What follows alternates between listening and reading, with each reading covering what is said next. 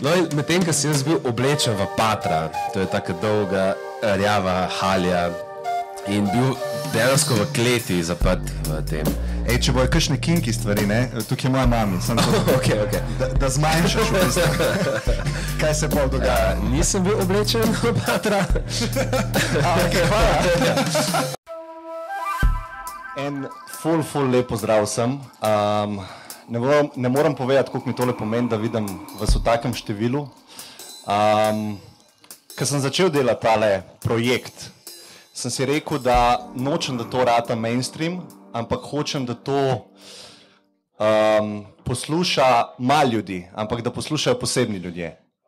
Um, mogoče taki podobni meni, ki razmišljajo, gledajo svet in ga probejo smisliti. Um, tako da, ful, hvala, ker ste prišli na 19. live dialog. Uh, hvala tudi Jani, ker si prišel. Jaz bi mogoče samo malo uvoda glede tega, da nismo tega naredili samo za svoj ego, tudi zaradi tega, ampak um, mogoče bi malo povedal številke. Ne. Prodali smo 116 kart, um, hvala vsem še enkrat. Um, 1880 evrov smo zbrali, um, tako da to bo šlo vse v dobrodelne namene. Opa. Um, organizaciji Against Malaria Foundation, o tem sem že ful govoril, tako da ne bi s tem zgubil besed. Um, jaz bom še enega Jurija dodal zraven, tako da skupaj je 3000 evrov iz tega dogodka. To je, to je,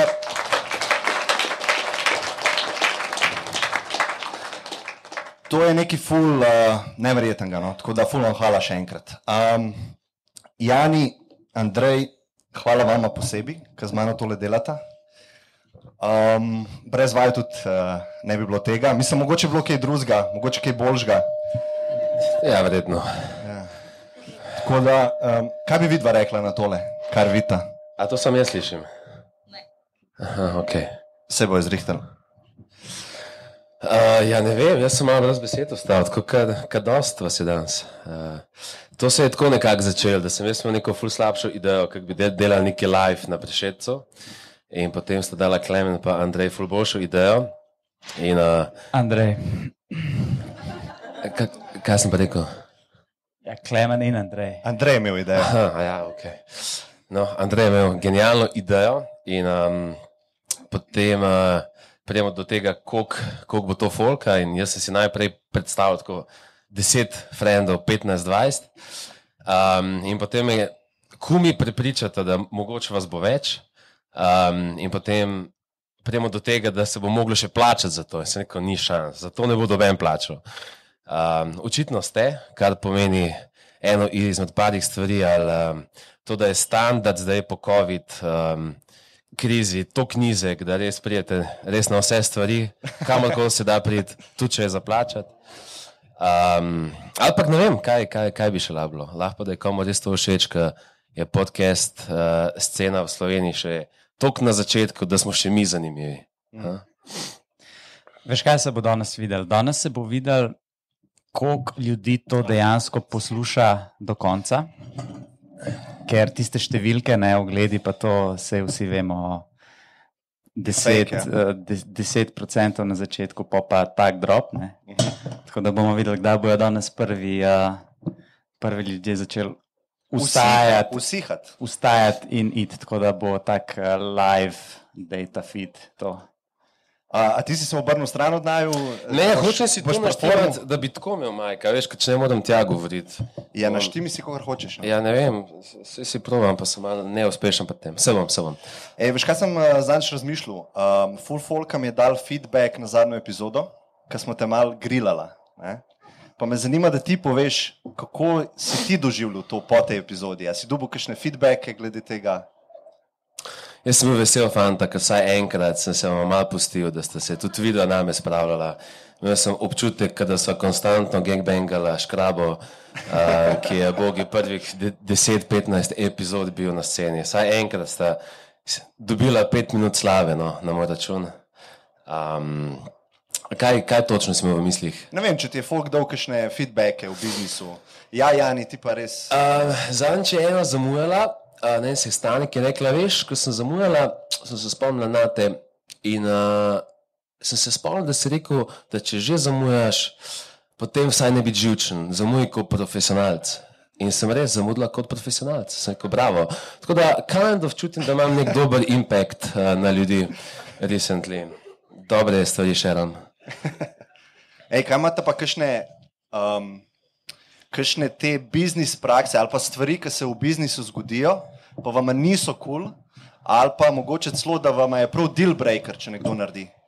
Ker recimo, pogovarjali smo se o zamujanju, ne? Um, to je ena izmed stvari, ki ene ljudi motne. Uh, imate še kakšno tako stvar, ki sta imela izkušnjo, recimo, da sta prišla nekam, pa sta rekla, stav pa ne bom delal v biznisu zaradi tega, ker si to naredil. Ja, če ne pripravljen, ne. To je ponavadi bilo vedno. Ampak se to se ne zgodi doskrat, ampak vidiš lahko, če je nekdo nepripravljen. To. Ne, ne, drugega nič, ne vem. A vi slišite um, škrabo? Maga je strah, pa ti govori. Ej, kar. Ja, moram me malo dvigati tam na tisti mizi, mešalki. Jaz ga ponavadi dvignem, pa meni doma. Ja, ja ne, meni je. Ja. Tako da on še ne ve, ne, kako je to. Uh, ja, ti imaš kar visok standard, jaz, um, jaz nimam tako visokega standarda. Uh, ful imam do, ful dober story. Um, par let na, nazaj delamo neke razgovore in en fant, no fant, že gospod, zamudi 15 minut. Ampak jaz sem kot sem rekel v zadnjem dialogu, funkcionalen, pa zamujen. Jaz zamudim tam, ker vem, da ne bo full pizdarije. Ampak načeloma, če imaš ti razgovor za šiht, to pa res priješ točno. No, in tam model zamudi 15 minut, ampak dobro, kdo sem jaz, da ga bom, bom džadžo zdaj, ker ti jaz zamujam. No in začnem spraševati tega gospoda in on po parih minutah mu zvoni telefon, pesko dober, tudi to še zdaj, pač pozabi si igrati na tih, ampak ne, on se javi. Okay. Ampak še bolj smešno, zakaj se je javil. Zato, ker po tem intervjuju je šel na morje in je dal na prevozi.org. In med intervjujem ene tri, štiri klice, kjer ga full klical, če še ima plac. In on se na vsak ta klic javi. Ampak neki se mi je zdel, da ima ta model, da nek, neki ima sicer, ok, v tem settingu ne blisti, In sem rekel, da imamo šanso. Verjetno sem bil obupan, ker za tisto pozicijo nismo imeli ful izbire. No in pol, on, um, če, če ful skrajšam, on je um, uh, se zaposlil, na, no, zdaj sem že povedal konc. Um, iskal je job na poziciji, kjer bi vodil ljudi. Tako. No in uh, potem uh, sem rekel, da dajmo tega, tega gospoda pridružiti eni skupini, kjer bo naš, naša zaposlena vodila in on je sam zraven kot gost samo to, da vidi, kaj točno mi počnemo, pa po, če bo zanimivo, ali pa če tam spet zamudi, da, ga, da ga odpikamo. No, in ta model pride na to prvo, prvi izlet. In uh, tik pred koncem, jaz prijem tja, ker sem vedel, da bo končal, in vprašam to gospodično, ki je delala za nas. Pravim, in kako se ti zdi ta model? In ono tako najslabši na svetu, najslabši.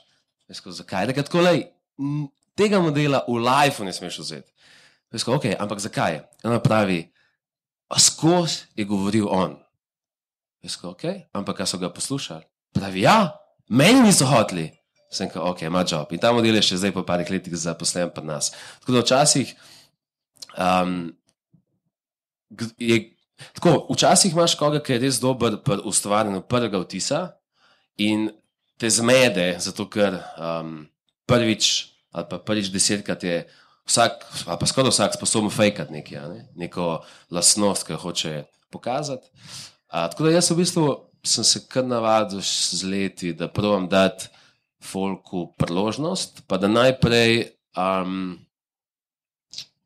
Da moj default mode je, da verjamem, da je on sposoben, pa kul. In mm. potem iščem dokaze, no, se tle sem jaz zelo hitro dokaze. Potem iščem velik dokaz, da se motim. Tako. Ja, se ta prvi vtis je fully zanimiva stvar, ker glih zadnjič sem uh, razlagal to zgodbo enemu frendu, um, ker sem naredil napako, ki me je izučila. Šli smo v Moskvo skupaj in tam je bil en model, ki ga jaz nisem poznal. In uh, gremo na avion, pogovarjamo se, smo v taksiju in on razlaga. In jaz si ustvarjam tako slabo mnenje o njem. Ja, se. Jaz tako, s tem modelom pa jaz nikakor ne bi mogel funkcionirati. Ne? Dobro, na nas je šest, klej v Moskvi, ampak ta, ta model mi je pa čist out. In um, mi tam v Airbnb-u, zraven uh, Rdečega trga v Moskvi, in jaz se malo prej izbudim, uh, ker jaz imam en tak del, ki je mal introvertiran. Ne? Tako da, ker sem full časa v družbi, rabim en čas zase, da se Ti? malo odmaknem. Yes, ja. No, in vi ste vsi spali, mislim, da je bilo po žuru. Jaz sem se za nalaž prej zbudil, grem jaz sam do rdečega trga, tako tak sonček je bil full lep. Um, grem malo pošetati, da si napolnim baterije, in ta model se zbudi in reče: Kam pa greš? Um, grem malo na sprehod. Um, do you want company? Pa je skupaj pizda, ne stari. Mislim, ja, sem. Absolutno ne. Ja. In jaz valjda rečem, valjda, stari, valjda. In greva, in to je bil en najlepših sprehodov v mojem lifeu. S tem modelom so se tako zakonektala, tako res na osebni ravni. On je povedal ene stvari iz svoje preteklosti, jaz tako skupne stvari sva našla. In zdaj sva pač zelo, zelo, zelo dobro prijatelja. Toda tisto mi je izučil, že parkrat na lifeu me je to izučil, da, da delam napako v prvem vtisu. No. Tako da, full lep point, kar si povedal. Ja, vse se mi zdi, ne vem, um, kakšne so vaše izkušnje, ampak recimo to, če pogledam nazaj, oseba, ki mi, recimo, mi ni bila všeč, nismo vajbala, če je prišla do točke, ker sem uspel transparentno videti nek background story njegovega lajfa, mm. kjer sem nekako razumel, zakaj on dela za neke stvari, ki recimo, mi niso kul, cool, sem skoraj zmeril z ljubo njega, kljub temu, da je mogoče njegov lifestyle, njegova dejanja v tem momentu ne, ne, nisem podpiral ali karkoli. Ampak če sem imel ta story, um, veš, tudi če so bile res neka. Se mislim, da sem sem govoril uh, na podkastu um, to zgodbo, ko se vozim uh, do San Francisca z enim modelom, prva generacija v, iz Vietnama. Sem govoril, ok. Um, recimo, to A, je se. Ja, škoda za vse ostale, ki niste Ej, poslušali. počasno mu zmanjkalo. Ja, tako ni, nima več zgodb, vse, vse zgodbe sem že To je to, povedal. hvala vsem, ki ste Ja. prišli. Um, ja, da, da, da če zveš, mislim, skoraj vse, vse vsa slaba dejanja, ki jih počnemo, če nekako ja, veš ta nek backstory, tako, ok, še vedno ne odobravam, ampak make sense. a Ne? Nimam več toliko judgmenta do tebe. Se pravi, kaj zdaj pri ljudeh, ki jih prvič vidiš, imaš dober feeling, jih dobro uh, začutiš.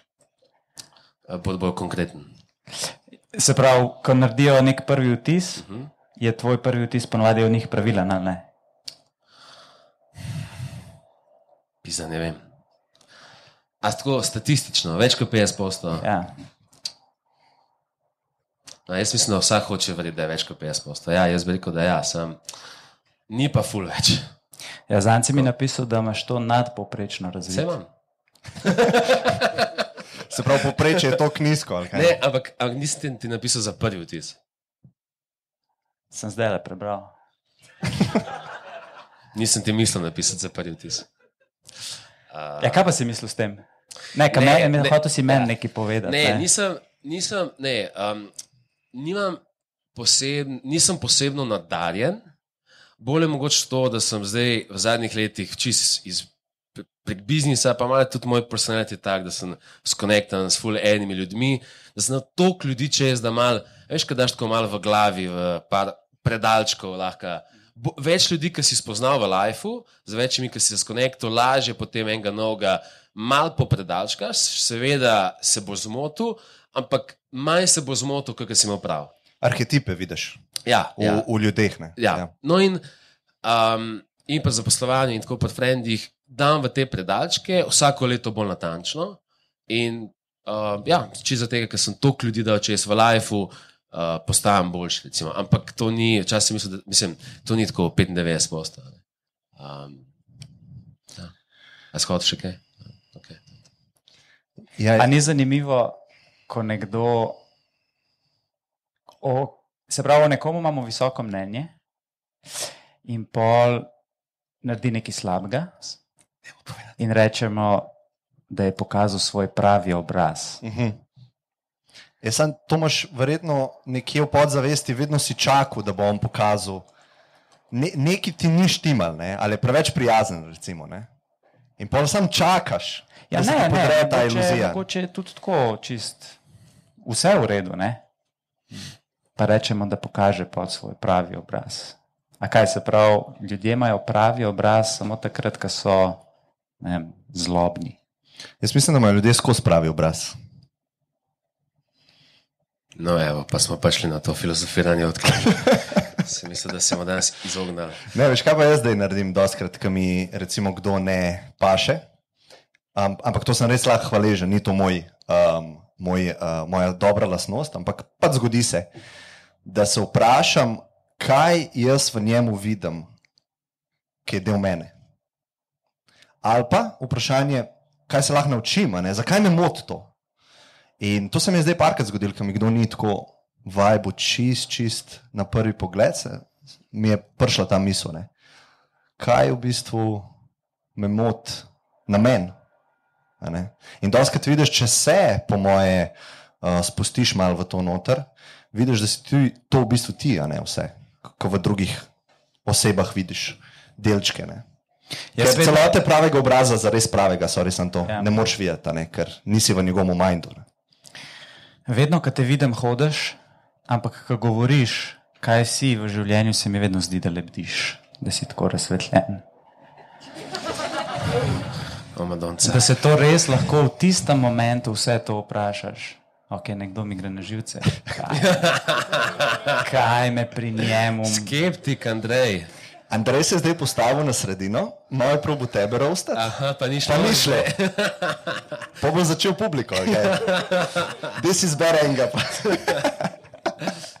Ne, ampak lej, jaz sam govorim, kaj se mi dogaja. Ja, ne. to, a, ne, ne, a ta misel ti takoj pride, ali pa tako zvečer, ki si v posli, oj, mogoče sem ga narobe ocenil. Mešano na žaru, mešano. Ej, ampak to je isti, to je, to je, ta- ta pogovor je ful podoben temu, ki smo, za- ko smo enkrat po snemanju, ki tako Klemen ra- razlaga, da on, ko začne jesti čokolado, recimo, ve, da to nikoli ne.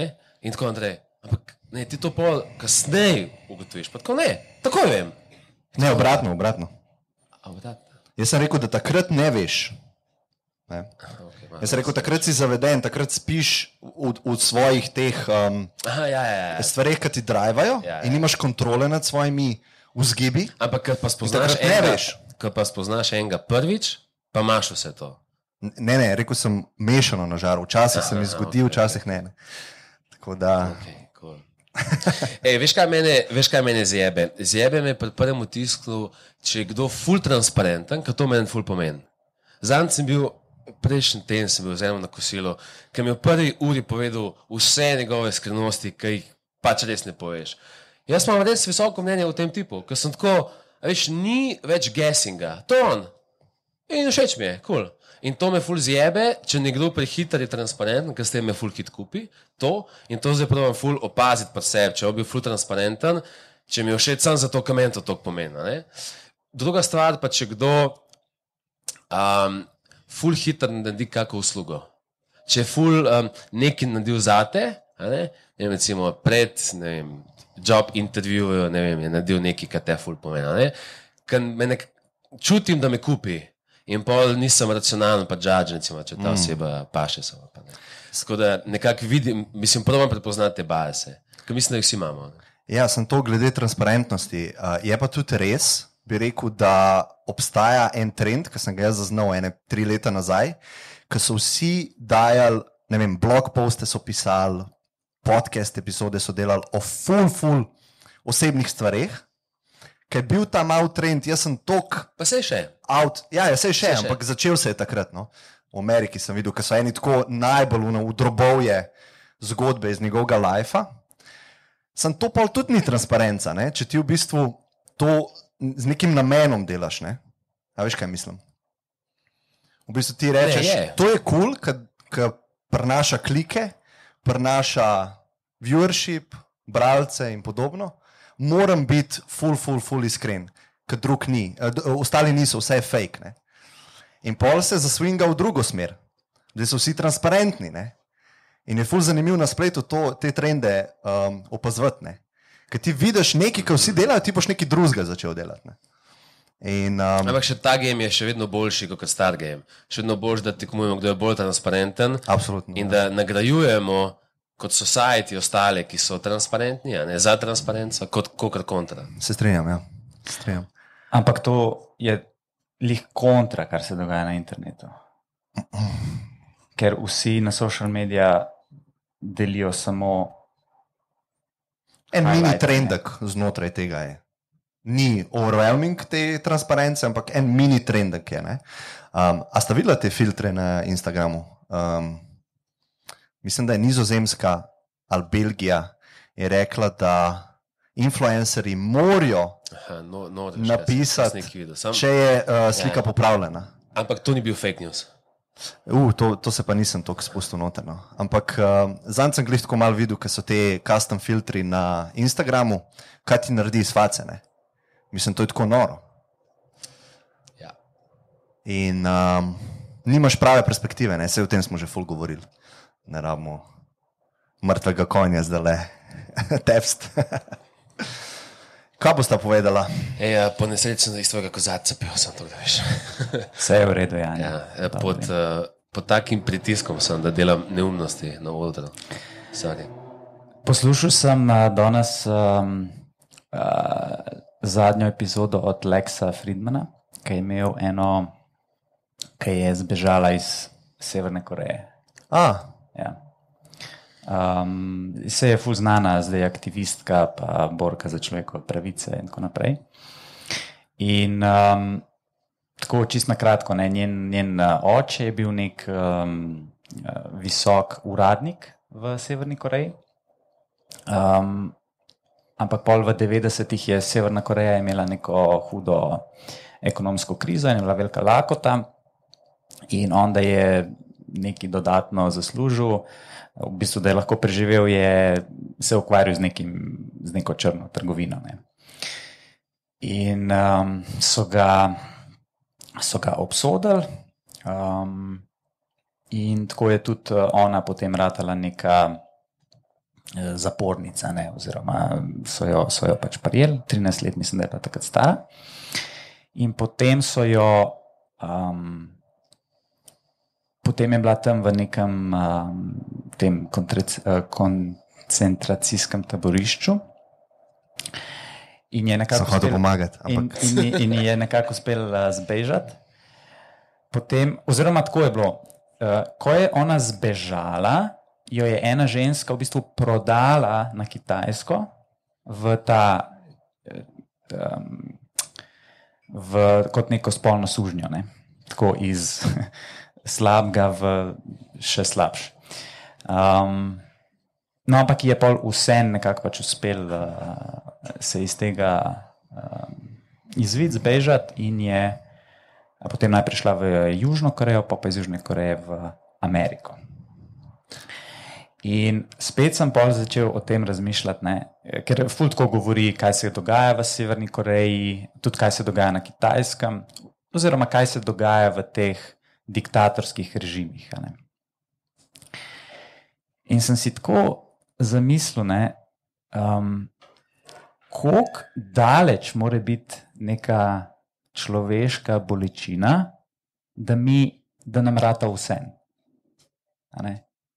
Ker zdaj, ja, veš, če bi se tukaj nekdo ne vem, začel, bi videl, da je v neki bolečini, ne?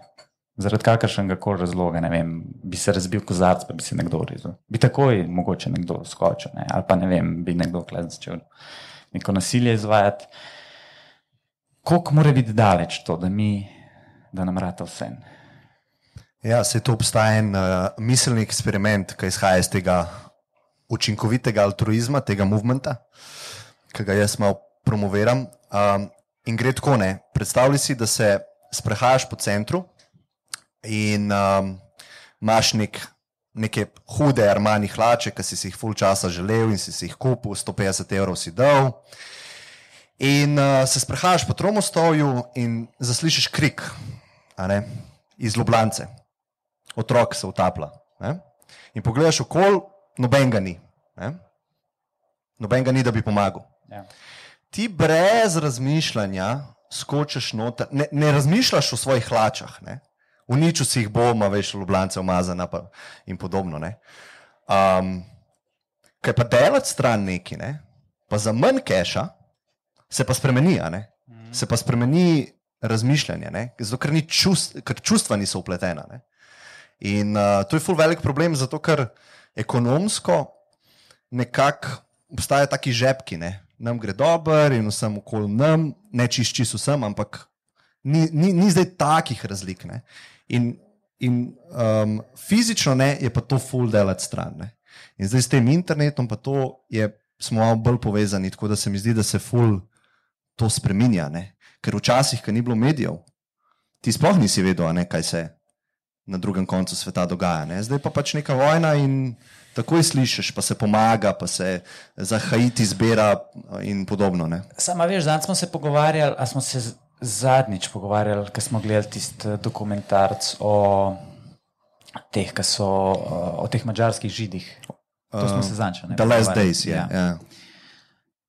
A veš, in oni so govorili, da je bilo ful blizu, pa nismo nič ne, naredili. Zdaj pa veš, da se to dogaja. Zanimivo je tudi to, ne, da zdaj, uh, takoj, ko je ta COVID um, se začel, so Severna Koreja čist se zaprla. Ne. In tudi oni, pa je ful dolg, niso imeli primerov okužbe. Ne. No, sam sej, Ja. Kaj? to je jasno, zakaj ne. No, sej, so se zaprli? Ne zato, ker so se zaprli, ker uh, oni imajo moč nad narativom. Ja, ja. Okay, recimo, da dolg niso imeli, Okay. Uh, Zdaj- zares, zares. zares, zares. Okay. Zdaj pa, zdaj imajo pa baje full štalo. Ne? Aha, Ja. Ampak oni zdaj zavračajo pomoč. Se pravi, mednarodna skupnost je njim pripravljena pomagati. Ampak oni zavračajo to. a vejo, da pride zraven še ja neki. itak. Mislim, make sense, a ni. Zakaj? Mislim, ja, nič ne pride zastojn. Zastojn, zastojno, ne? No, in ta ženska je. Mislim, make sense. oni bi tako, vedeti. no, zakaj oni ne sprejmejo? Uh, ne, že takrat, ko je bila v 90-ih, ko je bila ta lakota, so oni pač rekli, mednarodna skupnost jim je rekla, zelo to pomeni uh, Združeni narodi. ne. So rekli, da lahko jim pomagajo s hrano. In so oni za nalašč to zavrnili. Um, ker je bil nek program, da naj samo 10% prebivalstva preživi. Ne? In zdaj je ista scena. In recimo ta ženska je, ker je aktivistka, proba to, um, proba to pač um, um, predstaviti uh, javnosti, da se to dogaja. In ona tudi reče, ne, da vse te obveščevalne službe, ameriške, da vse vejo, kaj se dogaja, ne, pa da so tam ljudje v teh taboriščih in tako naprej. Ampak se nič se ne zgodi. Jaz sem, kaj bi, kaj bi se pa moglo, recimo, kaj invazija na Severno Korejo? Ne vem, ne vem, kaj bi se moglo zgoditi. One dva sta, polka ste se pogovarjali, da so itak neke dve možnosti, ali neke te vojaške operacije, ali pa, ali pa nič. Ne. Ker, ali pa atentat, recimo. Sam je tok teh nekih, um, hm, nekih drugih stvari. Ne. Ja, to mi je zanimivo, ker se pravi, zdaj na svetu so ljudje, ki so v teh taboriščih. a ne. V teh diktatorskih režimih, pa tudi v Afriki ne bi to bilo. Pa na kitajskem, v globalu. tam En, se- Kitajska en milijon tam na severu. v globalu, v prejšnjem globalu je ful dober članek o tem, o kitajskih taboriščih, ker je ena bila tam, pa je pol. Ja, ja. Napisano Se vse. Tako, pa tudi, a veš, ni zdaj, da mi ne moramo to z nekimi satelitskimi posnetki Ja, dobiti itak, teh slik. To, tako, mislim, je jasno. Železnica, ljudje pridejo, tam so na kolenih, dajo jih v neke take zgradbe, ki je tale tobačna tukaj. Ne?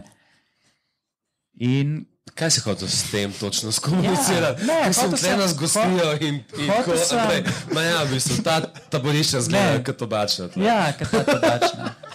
Um, ne, tako zanimivo mi je, da v bistvu, ker je to tako daleč, ti je vse v resnici. Je pa, sej, Je. ej, Kako bomo rešili tole? Ej, danes? sej, hvala- Severno Korejo. Ej, hvala Bogu. A si predstavljate mentalne probleme, ki bi jih imel folk, če, ne bi, če se ne bi mogel čustveno distancirati od problemov kilometre stran? Če bi se ti No, saj koliko, pa, sekiral, koliko teh kilometrov mora biti? ja, verjetno Pri koliko kilometrih bolj, bi se ti handlaš začel live, sekirati? ja, bolj, ko handlaš live, uh, večji je ta doseg, ki ga imaš. A ne bi rekla, da je to mapirano na kulturo, pa to, kako se ti poistovetiš z nekom? Se pravi, um, če ga imaš, ne vem, neko otroke je slovenc, ti se ful Ja. lažje poistovetiš s, te, z Ampak če imaš enim severnokorejskim. To je res, ampak če imaš ti velike probleme v lifeu, ta moment, ne glede na slovenc, pa tudi je lahko sosed, tudi takrat se ne boš ukvarjal s tem. a ne. Um, veš, jaz mislim, da imamo neko kap, uh, zelo omejeno kapaciteto. ne. In uh, ja, bolj ko handlaš life, uh, več imaš te kapacitete na razpolago, ki jo lahko nameniš reševanju problemov, ki jih imajo ostali ljudje. In ja, pač. Uh, tudi več, ko imaš nekih resursov, bolj se počutiš, a, lahko, da se sam počutiš, lahko pa tudi to, da, da dejansko ti je omogočeno razširiti ta doseg. Um, in ja, jaz mislim, da hvala Bogu, da imamo, da se ne ostanem pa si gledam za Afriko toliko. Mislim, skodnač, ten god za momentalno zdravje. Um, Ja. Ne, To, to je, po mojem, čist e, evolucijska funkcija, ki jo imamo. Hmm. Da si pač imel nek, nek, nek doseg, ki je valjda omejen. ne. Vse to je ful zanimiv, ta, uh, a poznate ta Dunbar number. Ja, tista številka, koliko, s kolikimi ljudmi imaš lahko nek 120 pristen odnos. Mi, mi, eh, to je bil nek, uh, joj, zdaj ne vem, je bil sociolog, ne vem točno, um, 19. in 20. stoletju. vem. Uh, in on je opredelil to številko kot 150. In to je 150 je neka meja za naš mind, za naš, uh, tako kot smo se razvili, za naše možgane, da ti lahko poznaš ljudi, ali po imenu, ali po, da veš, kdo je. Ne?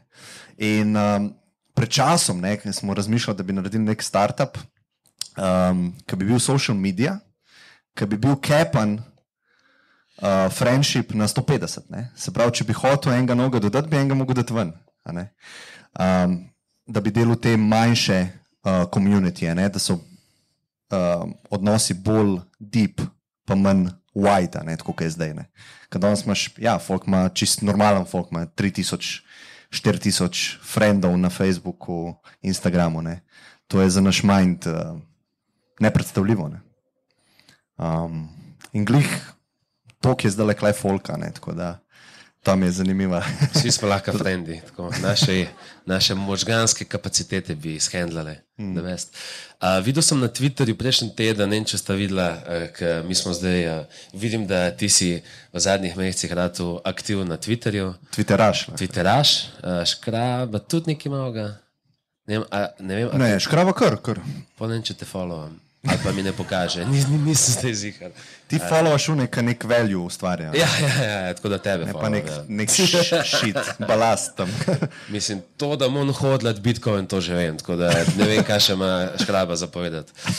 Um, ne, uh, de, delal so v 90-ih, pa zdaj spet uh, primerjavo, koliko friend, kolik, um, dobrih frendov ima poprečen američan.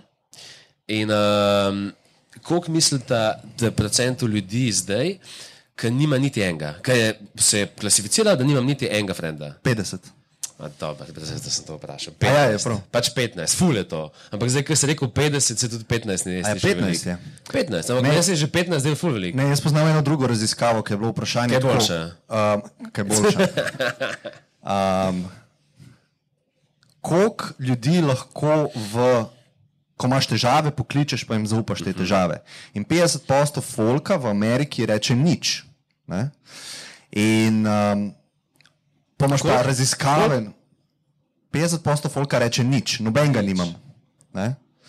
Pač neka epidemija osamljenosti in tega, ne? in tukaj so pa raziskave na raziskave, ne? kako to vpliva na zdravje, ne samo mentalno. Ne? Ti v bistvu, če si osamljen, mislim, da imaš večji riziko z bole, bolezni, kot če kadiš, piješ, si obis in podobno. Ne? In jaz mislim, da bo to trend v naslednjih ne vem, 20-30 letih, ko se bomo začeli tega malo zavedati.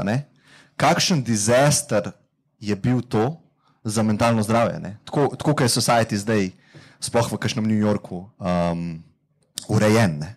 V bistvu tako zelo šelov odnosi. Ampak dobro, da imamo kapaciteto, da se ne rabimo zdaj s tem ukvarjati. Ali to je sijanje oponašal? Ja, le. Ne sami presodimo, gledalci. Kjer politik je ta škraba noro. In kako se imate? Se, to vreme se je pa še kar nadel danes. Tako, dobro je. Boš kaj povedal? ali- Ja, bom, bom, bom. Bom. Kaj- kaj Saj je zato si Ne, kaj- da ho- tukaj, ne? Ne, kaj hotel sem reči, fanta, a se malo, plačuješ. ja, a se malo pripravimo, a dam kakšno vprašanje. Ne, ne, ne, stari, mi dva sva, high performerja, mi dva bova tole freestylala. E, ampak nekaj sem se spomnil, koga danes ni tle, ki bi mogli biti v prvi vrsti. Mogli biti v prvi vrsti. Mo, gle, Mogle biti v prvi vrsti. Koga? Naših mam ni tle, naših največjih prvih fanov. Ah, ena je, čakaj, sam ne, ne prepoznam, kje ima mama. A, tvoja, Dobro, dobro, ok. moja, moja mama je prišla. cool. Je rekla, kje sta pa od Janja, pa od Andreja? Bomo skonektali na Facebooku, da naslednjič pridete. A ne na Facebooku, kje pa pol? Po pošti, Na Instagramu. po fizični E, na pošti. Snapchatu. če lahko. Snapchat, ok, Ja. Snapchat. Da si une ogenčke delajo, kako je že, un strik. A to ste videli kdaj? A sta že malo nas, ne? pozabil. Ja, v bistvu je tako, da um, A je kje tle na Snapchatu? What? eden. A ti veš, o čem govorim? Dva. A veš, o čem govorim? O teh ogenčkih. Ja, v bistvu delaš strikne. Recimo, če sem jaz na Snapchatu, pa ti, za vsak dan, ko smo mi dva imela vsaj nek interaktion, dobiva ogenček. Aha, aha, ja. In pol dobiva dva ogenčka, in tri, in štiri, in pet, in en dan zajebava, ni več ogenčkov. Ne? In v bistvu to je taka mehanika, ki spodbuja uh, mlade, pač, da prehajajo na app. Ne? In v bistvu mislim, da sem celo slišal za eno zgodbo, ne? po mojem je en, en odklep povedal. Um, da sta bile dve frendici, ki sta se skregali, ampak vseeno sta pa strik držali. Na, na Ja, pa se je odkregali, ste se kepa. Ne, ne, ne. Oni ste bili skregani v Lidlu, iPhone, ampak vsak dan ste vsem, vsem poslali, da niste strika zajemali. Ampak a je zdaj technology bad? Kaj? A je zdaj technology bad v tem casu? Ja, ali- se pa niste bili tako osamljeni, ne? ja. Da hvala Bogu za Snapchat. Snapchat je držal vsaj eno vez še med njima. Tako. ne, Tako da v tem primeru je bil technology good, lahko rečemo. uh, ja, ne, ampak na, načeloma je betno, po moje. Ja, ti, ti nisi neki full velik fan na social medije, ampak skozi postaš na, na social medije. Not a fan, ja. Ne, um, Ne, fan, naj- fan sem postanja, smeh- ne. nisem fan consumer. Ne, ja. najbolj smešna sta Miškrava pa Selakovič, ker sta začela mesece nazaj delati, ne če je že kjer videl, Ask Me Anything. In to je hilarious as fuck. Ja, mi dva jih lahko, ne? Mislim, Dobar, ne, vem, ne vem, kaj si s tem mislil reči, ampak hilarious as fuck. Moje fore so pa je malo. Ne mu razlagati, da on sploh Ja, vse čez mojo glavo, Kdo pa čez- povedal? Uh, no, kaj, uh, in, uh, ja, to, je, to je neka um, kon kontradiktornost, zdaj, predvsem pa tebi, Klemen. Zakaj? Ja, Ker disaš Facebook, Instagram, ampak uh, hkrati si še vedno aktiven. gor. A si shekal? Mislim, sej je po mojem jasno, da rabim razlagati, ker čisto rolaš, ne? ampak uh, probam sam v eno smer dajati informacije. Ne? Probam čim manj konsumati a ne, stvari.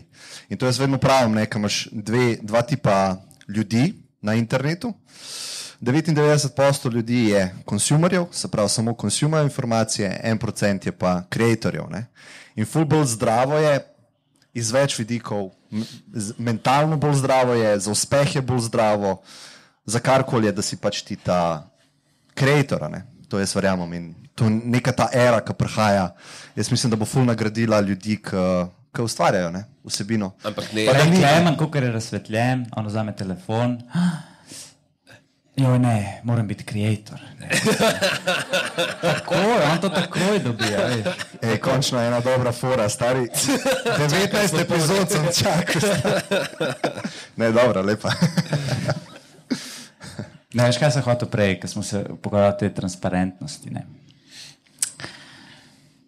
Um, ti si enkrat uh, rekel, um, oziroma tisti uh, predstavil, ti si tisti esej od Sema Harrisa, da se ne lažeš. Ne? Kako zdaj to um, v praksi izvajaš? 99% časa. Okay. Kaj ti? Obratno. Sploh ne vem, kako se to zračuna. Mislim, vsak bi rekel 100, ampak se, vsak. No, Ja, vsak če pa ni se- iskren človek, bi tudi se- vedel, da 100. vsak Če ni se- iskren, bi rekel se 100. laže. Ja. ja, ja. Um, Sa ne bi pa vsak rekel 100.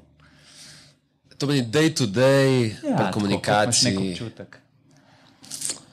Ja, jaz bi tudi rekel, ne sam ne vem, kako se to prešteje. Ful, mislim, več kot 50. Ja, okay. To je kar visok. procent. Ja, Kaj, kaj bi pa ti rekel? Zase. Ja, po mojem je 80. To je po mojem neko norm- poprečje. Kaj se pa lažete? Ne, se- česa si ti ljudje to mogoče, mogoče um, ker nekaj je, da ti poveš um, vse, kar si misliš, a ne? nekaj je pa, da ne poveš, um, da, da ne govoriš neresnice. Aha. Ja, to je velika razlika. No, in um, nekaj pa tudi, kar obdržiš zase, ki si sicer misliš, pa bi lahko povedal, pa ne poveš. Hmm. In mene zanima, ne, to, se, to bi se dal nekako zmeriti, koliko, kdo je v tem podkastu, oziroma v tem dialogu, kdo je najbolj avtentičen. Se pravi, da pove res svoje misli, um, take kot so, oziroma pove tudi vse tako, kot pove takrat, ko so mikrofoni ugasnjeni. Mislim, vemo, kdo ne bi zmagal. To tudi jaz mislim. Ja, to po mojem vemo. Unka največ govori, ko se mikrofoni ugasnejo. Kdo je to? To si ti. To si ti, ja. Sem Zdaj pa, da vam povem. Ne? Ja, zdaj pa fanta. Pazi zdaj tole. Ignorirajte to, kaj, kaj sem zdaj tri ure govoril. čakaj, da vam ampak- zdaj res povem. Ne, ampak to še nič ne pove. Ker la- on, ki laže 20%, laže tudi to, ker se mikrofoni izklopijo. Ja, profesionalni lažnivci tako delajo. Ja. No, torej. Pol jaz nisem tam. Ne, sam je ful tako zanimiv, ker če se odločiš, da boš probil govoriti resnico, jaz mislim, da te čaka tak adventure od life. Ful bolj zanimiv life te čaka. Pa ful lažji life. Obstaja ena knjiga, Radical Honesty, ki nisem nikoli prebral. Ampak zgodba je nekako tako. Da jaz sem nek študentski job. Um, in tam sem vedel, da imel ful časa. In sem prosil tistega šefa, če ga moti, če jaz vmes, ker pač sem sicer plačen, ampak nima nič za dela, če berem knjigo. In pravi, ok, ni panike. Kaj, kaj si pa delal? Kaj je bil ta job? V enem gradu sem bil pater Jani, kot nek župnik in sem pa čakal nek folk. In, um, Ne, čakaj, ja, ne res, ne, ne zabavam se. no, da je pove več. No, medtem, ko sem jaz bil oblečen v patra, to je tako dolga, rjava halja. In bil dejansko v kleti zaprt v tem. Ej, če bojo kakšne kinki stvari, ne? tukaj je moja mama, sem to, Okay, okay. da, da zmanjšaš v bistvu, kaj se pol dogaja. Uh, nisem bil oblečen patra. A, okay, hvala. Ja, Zdaj pa lahko all the way. Um, in sem prebral tako pet postov te knjige, Radical Honesty. In vse, kar vem, da je napisal nek model, ki je enkrat v Life rekel, jaz bom probil biti Radical Honesty. In od takrat je to knjiga, o kateri sem največkrat pomislil. Nikoli prebral, ampak fulkrat pomislil, a jaz zdaj sledim temu, kar je on model napisal v prvih petih straneh od 500. Če kdo prebral to knjigo, naj mi pove. Ampak jaz mislim, da sem iz petih straneh poštekel point. In še zdaj imam to knjigo tako, naslednja, ki bom prebral, pa spet zmeri, ki je bolj zanimiva. Uh, ampak ta knjiga je v bistvu mi najbolj spominjala live od vseh knjig, ki jih nisem prebral. Hodom. Uh, no, in, uh, no, po naključju mi 14 dni nazaj piše neka ne, Avstrika ali, ali, ali Nemka, da zdaj organizirajo seminarje o, uh, o tem, kako biti uh, radical honesty po tej knjigi v Sloveniji. In koliko časa traja seminar? Uh, ne, Priješ, bo danes. Okay, hvala. Uh, in uh, pa nekaj tako, vse, si prebral knjigo. In Zdaj, kaj, kaj naj rečem? Janle, mislim, kaj bi vi rekli? Mislim, noči se zlagati, pa reči. Ja, ampak hkrati, če boš rekel ne, moš obrazložiti, da to še ne pomeni, da nič ne veš. Ne, nje se lahko zlažeš, po moje. Zakaj? Ma, sej, ona ima samo tako. Da je vsaj en laže, Če pride na seminar, kako ne lagati. Kaj si povedal? Ne, ne, sem se, se rekel, da mi je v bistvu ful zanimivo. Sem pa malo čudno, ko so malo zapakirali v neko sceno, ki mi ni bilo. No, skratka, ta knjiga mi je live spremenila in fulkrat tako na mesečni ravni se spomnim in tako, koliko sem radical honest od 1 do 100, a ne? in a, a sem lahko še bolj, ker hkrati pa verjamem, da sem v nekih situacijah bil preveč honest. a ne. Um, začel sem se s tem ukvarjati, moj fuldober dober friend Jaka. Uh, smo nekom obdobju full časa skupaj živela, prej enkrat do mene. Ne, ne, tako jaz nekam pridem in tam model me gleda, pa reče model, ti izgledaš res slabo. Jaz ko, what? Je reče model, tako slabo izgledaš, a boš ti začel jesti. Pa kje te, te lovaditi. In Jaz sem smo neko obdobje, par let, ker sem sam delal, nič nisem bil na soncu in sem bil suh, ker nisem pač jedel dovolj, pa nič nisem hodil v gym. In ta moment, ko seveda mi človek po resnici povedal nekaj, hkrati sem čutil, pač, da prihaja iz, do, iz dobrega placa, je bil tako glavni razlog, zakaj sem začel fitnessirati in full pridno, bom v enem letu spremenil tako dieto, gym, rutin na glavo. Ne? Zato, ker je en bil full iskren z menoj. In to recimo mi mislim, ne samo, da mi je life spremenil, zato ker sem svoj lifestyle spremenil in popravil, da sem zgledal malo boljši, upam, da danes malo bolj zgledam, vsaj malo. Uh, če si lahko predstavljate, je bilo še slabše takrat. ne. Uh, hkrati pa to, da sem v bistvu večkrat pomislil, a bo kak moment, ko se jaz lahko ta jaka nekomu, ki mu pove nekaj po resnici, tudi če on zdaj noče slišati, ampak bo to vzel pa nekaj dobrega. In na, na koncu dneva sem rajš ta oseba, ki mogoče od desetih oseb, osem, ne bi sprejela tega feedbacka, če bi dvema v narekovaju rešil live z nekim honest feedbackom. ne. Um, in ja, Wow. wow. delam na tem. No, se to in, je in se mi zdi lepo. ful pomembno. Ja. Se ti zdi lepo? Ja, super. Jaz ali to, kar sem to, povedal? to. Kaj pa jaz? Jaz pa. Ej, kje sta pa še delala kaj študentska dela? To se nismo nikoli pogovarjali. A si ti kaj delal Sem, v life? sem. Tako kaj uh, konkretnega. Ja, ker škraba res ne zmeja, kot da. nek tip, ki je tako, ne vem, uh, Škraba razmišlja. Ne? opravljal gradbena dela tam na študentskem Ne, sem, se, se, delal sem, um, motiš se, vidiš spet. Tako da ta tvoja, od, od to ocenjevanje ljudi. jaz sem rekel, da ne izgledaš, ne da nisi. No, sej, sodiš po nekem vtisu. Nisi To tako, kot Klemen se zdaj vprašal. Kaj na škrabi mi ni všeč Ja. In kaj to meni pove? Tako? Jaz in škraba sva eno. Um, zanimiva dela, zanimiva. Uh, veš, kaj sem, uh, kaj si rekel, nisem nič fizičnega. Uh, pomagal sem pri selitvah. Tako da preklel sem te stolpence v Ljubljani, ene, ki nimajo lifta. Um, ja, to je bilo res katastrofa. Um, Sem si pa dobil te le. ej, enkrat, Lepe mišice. ne, enkrat, Vsaj nekaj. ha? enkrat, Ti si bil večino na dopustu tam. Ko ordinator. Ne, kombi je vozil, on je samo kombi. Ja, mi so selili. Fantje, kombi. da imamo malo veselja otrokom. Uh, ne, enkrat, eh, bom zdaj malo zamenjal ton. Enkrat smo mogli spucati eno stanovanje, ko je nekdo umrl. Ja, tako da, ne, zdaj si se zabaval, klej z To je menom. bil v, v sklopu selitvenega servisa, ali kaj? Ja, pač nekdo umre in nekdo reče. A ja, vse- on ni bil več. Ja, okay, okay. Ni bil v gengu, Sem da mislil, so ga da ste vi- ubili Ne, ne, ne, sem mislil, da so oni njega vendar. Da so da hočeš škraba iskati. Ful težek tip, 150 kg in selitveni servis je. Zveličare. Ne, ne, ne, ne. Se pravi, nekdo je umrl in a, naročilo je bilo ne vem, nekega svojca, da pač vse gre na smetišče, ker hoče pač ne vem, stanovanje prodati. In um, not je bilo, veliko je bilo tako, vse je bilo razmetan, tako, videl se je, da je verjeten v teh ne, zadnjih, pač ne vem kaj, mesecih, letih, um, da ni noben skrbel za to stanovanje. Ne. In tako, um, to je naredilo name ful velik vtis, um, ker veš, gledaš tako, pač vidiš, tako not je bilo res še, um, nekdo je res hotel tako, samo sprazniti stanovanje. ne.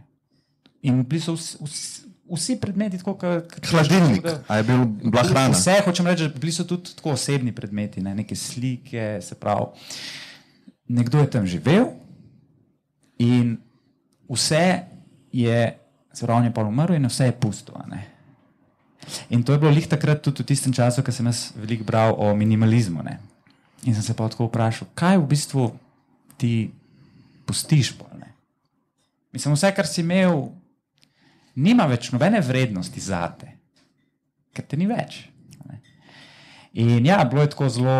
Um, Bilo je zelo nekako tak čuden vibe? Kot nekoga, tako vse, pač moraš vaš stran in nič pol ne ostane. Ne? Uh, to se je pa zgodilo tudi, ker je od uh, moje mame stric umrl, ne? ker sem jaz bil eden izmed prvih, ki je prišel v to stanovanje, sicer njega več ni več bilo not. In spet tisto, veš, tako. Vse je zdaj, noben tega več ne bo uporabljal. To je pač nekdo imel. In takrat sem fuz začel tudi tako razmišljati, kaj imam jaz doma. ne. In če zdaj jaz zginem, kaj bom jaz sploh pustil nekomu. a Ne? Uh, A bo kaj? private key boš meni pustil. Ja, private, ki je nima noben. Kaj boš pa, mislim, kako si pa to razmišljal? Kako boš pohendlo, če ti recimo umreš? Ja, to ti ne smem Kam grejo bitcoinčki? Ne, to ti zdaj ne smem povedati. O tem se ne govori. Evo, to pa lahko zdaj povem javno, da nobena epizoda dialoga ni bila nič zrezana, nič, Ja. razen ena.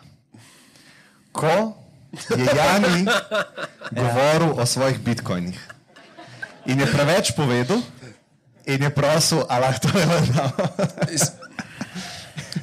Ne, ful preveč, ampak toliko preveč, da pa sem tako. Rajš ne, Če ja. se najde en čudak. No, in to Ja. je bila edina epizoda, ki smo jo. Kaj, se spomnim, ali smo zbrisali? Ja, ja, mislim, ti zdaj smo zrezali ven. ne. Ampak, nič Ampak Ker si ne. povedal, cel private key. Ne, ampak, ja, ampak ne, največji jok je to, da Andrej more spraznati en flat, poln nekih stvari, ki jih nese na smeti, in on razmišlja o minimalizmu, medtem ko poprečen študent bi razmišljal, kva lahko vzamem, pa jaz nesem k sebi domov. Kva še ima vrednost? Ha? Mislim, tle ja, vidimo Hvala za razvitost. kompliment. No. Ja. Um, čak, še nekaj No, in kaj povedati. pol leso dam? A je bilo kaj vrednega v teh slikah? Ne, pa ne, to ne, nič? nič, nisem vzel, mislim, come on. Um, drugo delo, zanimivo je bilo um, te obcestni plakati, Aha. Evroplakat. Ali limusi, Igor. Uh, Limosom, uh, Evroplakat. Ampak takrat sem jaz delal v eni firmi, ki je delala te enhanced, se pravi, ko se jim reče. Naprednejše. Naprednejše te. Um, Vsebine, tako kot mogoče zdaj, zadnji tak je bil, ki je bil full odmeven na social medijih, ki je, ne vem, kdo je, a je Merkator to naredil za tiste salame odrezane, ki so visele dol. Ja. No, to sem jaz delal. To včasih. salamo si ti. Ne, take stvari. A Veš, se pravi, naročnik reče: Jaz hočem imeti jumbo plakat, ampak, Salamo. ampak hočem. A lahko to narediš, Andrej? A lahko to... Ampak hočem Make it happen. Hočem nekaj special, ja, to, to, to je bilo zanimivo. Um, pa bil sem uh, statist v opernih predstavah, pa baletnih. To so, to so vloge brez besedila. Um, to je bilo zelo zanimivo delo. Vse tako nekako, kot na podkastu. Podobno. Tih večino časa. Samo malo več je plačan. ker Takrat je bilo študentsko, zdaj ima pa je spet. tako da. Ja. Um, tako da to, to je bilo fuz zanimivo, fuz zanimivo delo.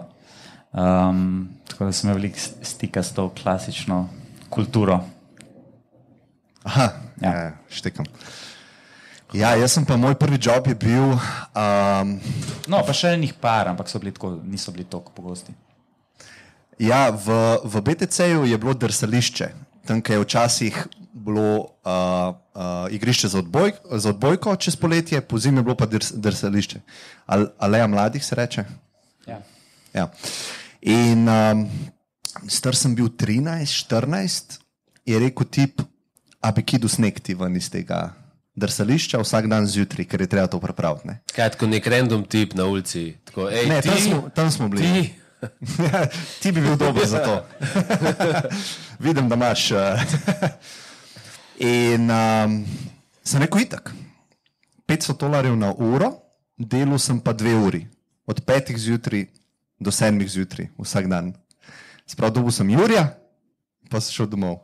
Tako zdaj, ko pomislim, to je crazy, ne, mislim, ja. moš prijeti tja, zjutraj se, zgodaj se zbudiš, pa to je tako fizična dela, ne. Mene je to full drive, da, da grem ven iz fizičnih del. Ne. Dobre 4 evre si dobil. Ja, sem težko to primerjaš, ker inflacija, pa tako malo več. No. Um, pa sem delal v gostinstvu, pet let, šest let. Um, in moj tako dream job je bil, da sedim v pisarni za računalnikom. ne. To je to. Čaki, a, ti imaš najboljše zgodbe svojega lajfa, ki si delal v ASO. Po teh zgodbah si nisem predstavljal, da si ti želel iti v pisarno. A si delal kdaj v gostinstvu? Ne, ampak po tvojih zgodbah sem si skoraj malo zaželel, da bi Aha, ok. Vsaka stvar ima pluse in minuse. Ne? to si predstavljal. Um, ampak fizično naporno, psihično naporno. Recimo v Asu uh, je bil uh, nočni klub, spodaj, sem bil ne vem, 15 let star, sem pomil posodo. In to, takrat sem res začutil to monotono delo, ker raztegneš čez več ur, ti začne vplivati na psiho. Ampak Ko začne se ti mešati. zgodbe, ki si ti meni govoril, so se zmeri začele Jani. Jaz sem bil najjači vaso. Ampak zdaj pa ti govoriš le, da si posodo Ja, pomeni. zdaj je transparenten. Končno je spet. Začel sem na dnu, pa sem pa prilezel do glavnega barmena. No? Tako da to je odgovor na, na tvoje. Pol nisi pomisleke. karen model, tako. Ne. Ja. No, in moj dream job je bil, da pridem nekam v pisarno. Ker to se mi je zdelo, folka hod z kompom v službo, to se meni zdela nebesa, nirvana. To so, to so ni mi ratalo life. Ne? In ker sem to dubo, ne, nisem, tako, nisem mogel verjeti. Jaz zdaj, v bistvu to je moj job. Ne? In še delal sem nekaj, kar me je full veselil, pač marketing, tako da pol je vse šlo iz tega. Ne? Tako da, um, full uporabne izkušnje, da sem videl pa cenu, kaj pomeni res, res garati. ne. Tako Ja. fizično. Ful si bil am- ambiciozen, noro. Jaz sem hočem z računalnikom v pisarno. Evo, me Se pa sem prilagoval cilje. Ne? Tako da zdaj, Ker zdaj pa kontra, sam ne v pisarno. Ha? Ali ne? Ne, mislim, zdaj delam doma, pa mi je top. Mislim, pa bi hodil zdaj nekam v pisarno. Ja, ampak ne skozi. Eh, Mislim, tako, če misliš 8 ur, da se ja. štemplam, ne. Vsak prvi ponedeljek tedno, to pa za vse. Tako. Ja. Če bi bilo pa treba, bi pa tudi to. No. Sej se ni, ni beta. Ne. Tako da. Kaj pa ti? Jaz sem full delo. Um, full jobo. Je valjda, če si najbolj uspešen. Ko moraš začeti, a veš, da se vmes. Najbolj uspešen Ne, zdaj v tem kontra, Jaz sem imel lokalu. toliko jobov, zato ker nisem dolgo zdržal in sem mogel veliko menjevati. Ampak dva sta bila najbolj zanimiva. Ti Moj, nisi zdržal, niso zdržali s tabo. z, zgodba za javnost bo malo prilagojena. Ampak, uh, moj najboljši job je bil, da se preselim v Ljubljano, jaz sem iz Velenja. In, um, tik preden se preselim, spoznam enega fanta, ki je deset let starejši od mene in on ima tako huge flat v centru. Uh, v dveh nadstropjih, in on pravi, star, jaz imam full placa, pridite k meni živeti. In jaz takoj prijem tako v flat, ker ni študentski flat, no, tako hud flat v centru in uh, nima še dobenega dela. Ampak tako po dan, dva, preden se preselim, me kliče, uh, me kliče nek model in me poveže z RTV Slovenija. In oni se nekako menijo in pride do neke miscommunicationa. Um, skratka, na koncu vse, kar pride do mene, je, če bi jaz delal neko oddajo. Nesko bi, koliko je keša, in tako 25 evrov na uro. In to je še danes, se mi zdi, verjetno full cash, ampak takrat, deset let, let nazaj, je to bilo ne vem, kaj je rekel danes, 40 na uro. Jaz ko delal bom karkoli boste hoteli. No, in pol, uh, kot ste lahko pa- pričakovali, malo zamudil že takrat na prvo to uh, uro, kjer smo mi imeli vajo. ne. Takrat je bil futbal uh, v Južni Afriki in vsak dan je bila neka oddaja na ETV, ne vem, če se kdo spomne. No, oni so iskali nekoga, ki bo delal v tej oddaji, in jaz prijem že na, praktično na, ja, na, na pilota. In oni pravijo, super, tle je zdaj uh, DJ Miza in ti si DJ, In tako ne. Nimam pojma, kako se dela s tem. In oni tako, vsi v šoku. In jaz nisem nikoli rekel, da znam DJ-jati. Ampak nekako so se oni zmenili med sabo, da jaz sem perfekt DJ. Ampak pojmo že tako davč, da so rekli, oni kul. Cool. Naj bo ta model DJ za 25 na uro, pa bomo plačali enega pa 5 na uro, da bo v backstageu zares vrtel musko. In moj job je bil celo poletje, da sem samo v ozadju v oddaji in fejkam, da vrtim musko. Stari meni se je prej smejal, da sem bil statist. On sploh ne ve, da je bil statist. Na CV-ju mi piše DJ. Jaz imam tudi tako izkušnjo, jaz sem bil pa na Veš sintesajzerju. kaj sem jaz vse bil, stari? Sem bil kombo, on na synthesizer, jaz ti če. Pustili so matrico, kolegica je pela, zares pela. Ne, Muska je bila na matrici, jaz sem se pa delal. Ne. A imamo kje te posnetke? Ja, Mislim, to je bilo epsko. Takrat ni bilo še telefonov, stari. Crazy. Uh, ja, no, to je bil tak en ful zabavni job. Uh, druga je pa, star sem 16 let in uh, takrat se je hodilo v Gaviolja. In jaz sem 16, sem rekel, prva stvar, ki hočem doživeti, grem v Gaviolja. To je nek diskačni, če je sploh odprt na obali, ker je vsak vzel prvič ekstazi. Jaz ne, no, jaz sem ga pil, ampak uh, vsi ostali. Ampak hotel sem videti. A ti si pil ekstazi? Jaz sem ga pil. Ti si rekel, kar vse zmeši, no, pa jaz pil. Ne, meni tablete ne. Zatakne se mi. No, in, uh, in uh, bila neka agencija, ki je organizirala te žure, uh, uh, sorry, ne žure, ampak izlete na žure. In jaz se znajdem na avtobusu, kjer se mi furamo do Gaviolja, in en model je na busu. In je kao ta animator, ki skrbi, da mi pridemo tja pa nazaj. Jaz pridem do tega tipa, reče stari, a si ti slučajno plačan za to? In on tako, ja, voda, to je moj job. Jaz tako, "Ka? ti si plačan, da hodiš žurat? In on tako, ja. Jaz kot debel, kdo je tvoj šef? mi da link, grem na page, najdem mail in napišem, jaz bi rad de delal za vas. Nad CV-ja, po mojemu sem sam to napisal. Tako, jaz moram za vas delati, jaz čutim, da je to moj dream job. In oni uh, meni nazaj, ko pošlje CV, pošljem CV in oni tako, ja, moraš biti polnoleten. Ko boš polnoleten, se oglas. In oni so verjetno mislili, ta model pač ga bomo odjebali na tak način. Ne? In jaz za 18. rojsten dan potrkam na vrata, imeli so pisarno na Trubarjevi in rečem, evo me, zdaj sem pa 18. In ta model me, me posede, me sprašuje. In on je tako, se ne vem, je ta model genij, a je ta model največji čudak, jaz tam le model. To bo najboljši žuri, jaz bom na avtobusu to delo, imel sem že CD, playlista, stari to bo najboljši.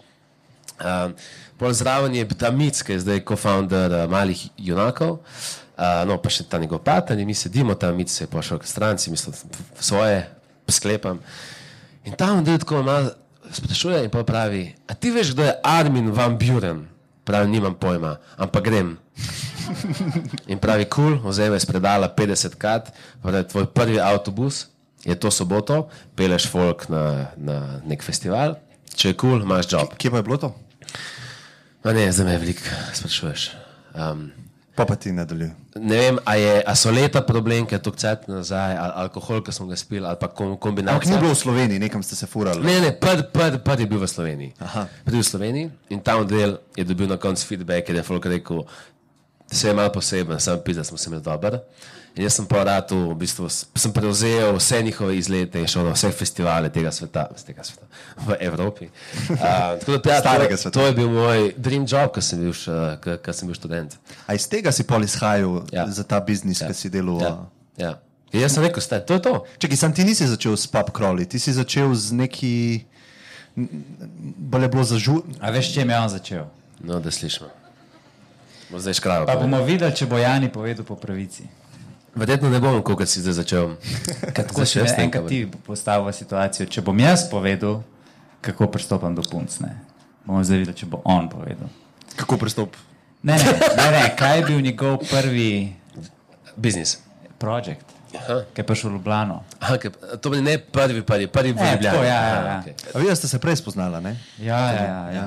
Ja, ja, ja. ja, ja, ja. ja. Jani je imel uh, projekt Ljubljana. Jani, kaj je bilo to? A. Hm. Zakaj ne bi smislil tako, fuck, kaj sem jaz tega delal, da ne bi hotel še rad? Um, Povej, če je prva, prva stvar. No, in- ker jaz in vem, kako si men, jaz vem, kaj je to bilo. Zdaj pa da vidim, če boš delil. No, boš na koncu povedal. Bom ocenil, ajde. Uh, začnem čist na štartu. Jaz sem mm, 16 v srednji šoli in v Velenju smo imeli eno sceno na televiziji, mogo- mogoče se kdo spomni, ki je en model rekel: Ti si zihar požigalec.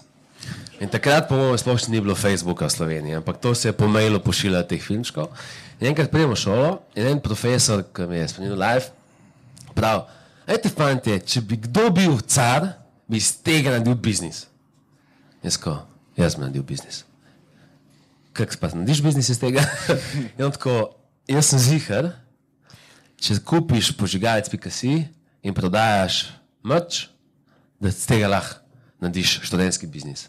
Je skul. Cool. Prijem dan, hočem kupiti domeno zasedeno. Zato, ker je ta model to povedal vsem letnikom, ki jih je on imel čez in je nekdo me prihitev.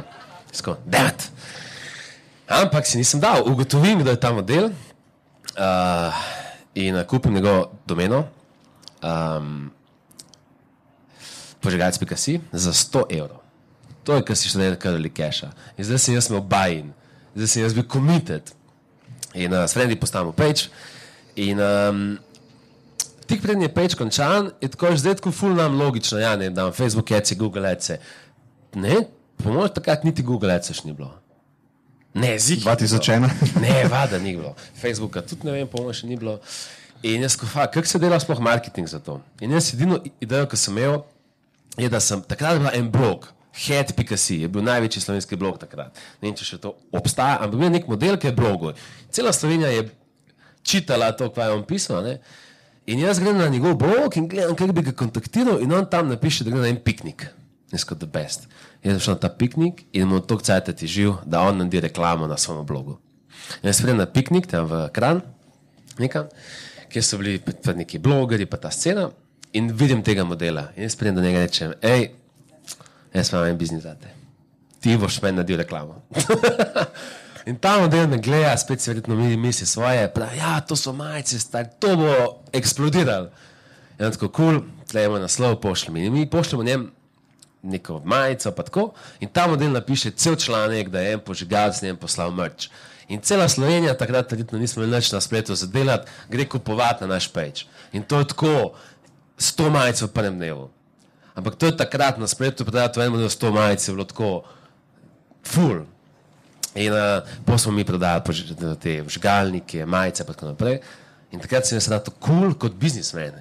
In pol v bistvu je bilo full zajebano ne biti biznismen potem kasneje. Tako da takrat sem nekako zapečatil to, da Tako, ko sem jaz bil star 16, ne vem, kako je zdaj na srednjih šolah, ampak najbolj kul cool tipi so bili basketaši, rokometaši, fusbaleri. In pol dolgo noč. In jaz sem dolgo hotel biti kul. Cool. In to je bilo najbližje, kar sem jaz lahko bil kul, cool, da sem naredil nek biznis. Sicer zdaj vem, da sem bil kul cool samo na enem računalniškem oddelku srednje šole, ampak lej, boška noč. No, in potem smo začeli, potem sem jaz rekel, kako jaz sem biznismen. In mi smo iskali biznise. In smo bili full biznise. In potem naslednji biznis je bil, ki sem mislil, da to lahko kar copy pastaš na vse. A si kdo spomni, ki je prvi pa na, vse tudi na YouTubu, najkomentator. Je bil nek model z Maribora, ki mu reče, da mora komentirati neko tekmo. In to je hilarious as fuck. Žogo brcno. To, to, to, žogo brcno, leti, leti, te neke scene. Kaj? Ja, ja, ja, ja, ja. gremo desetka.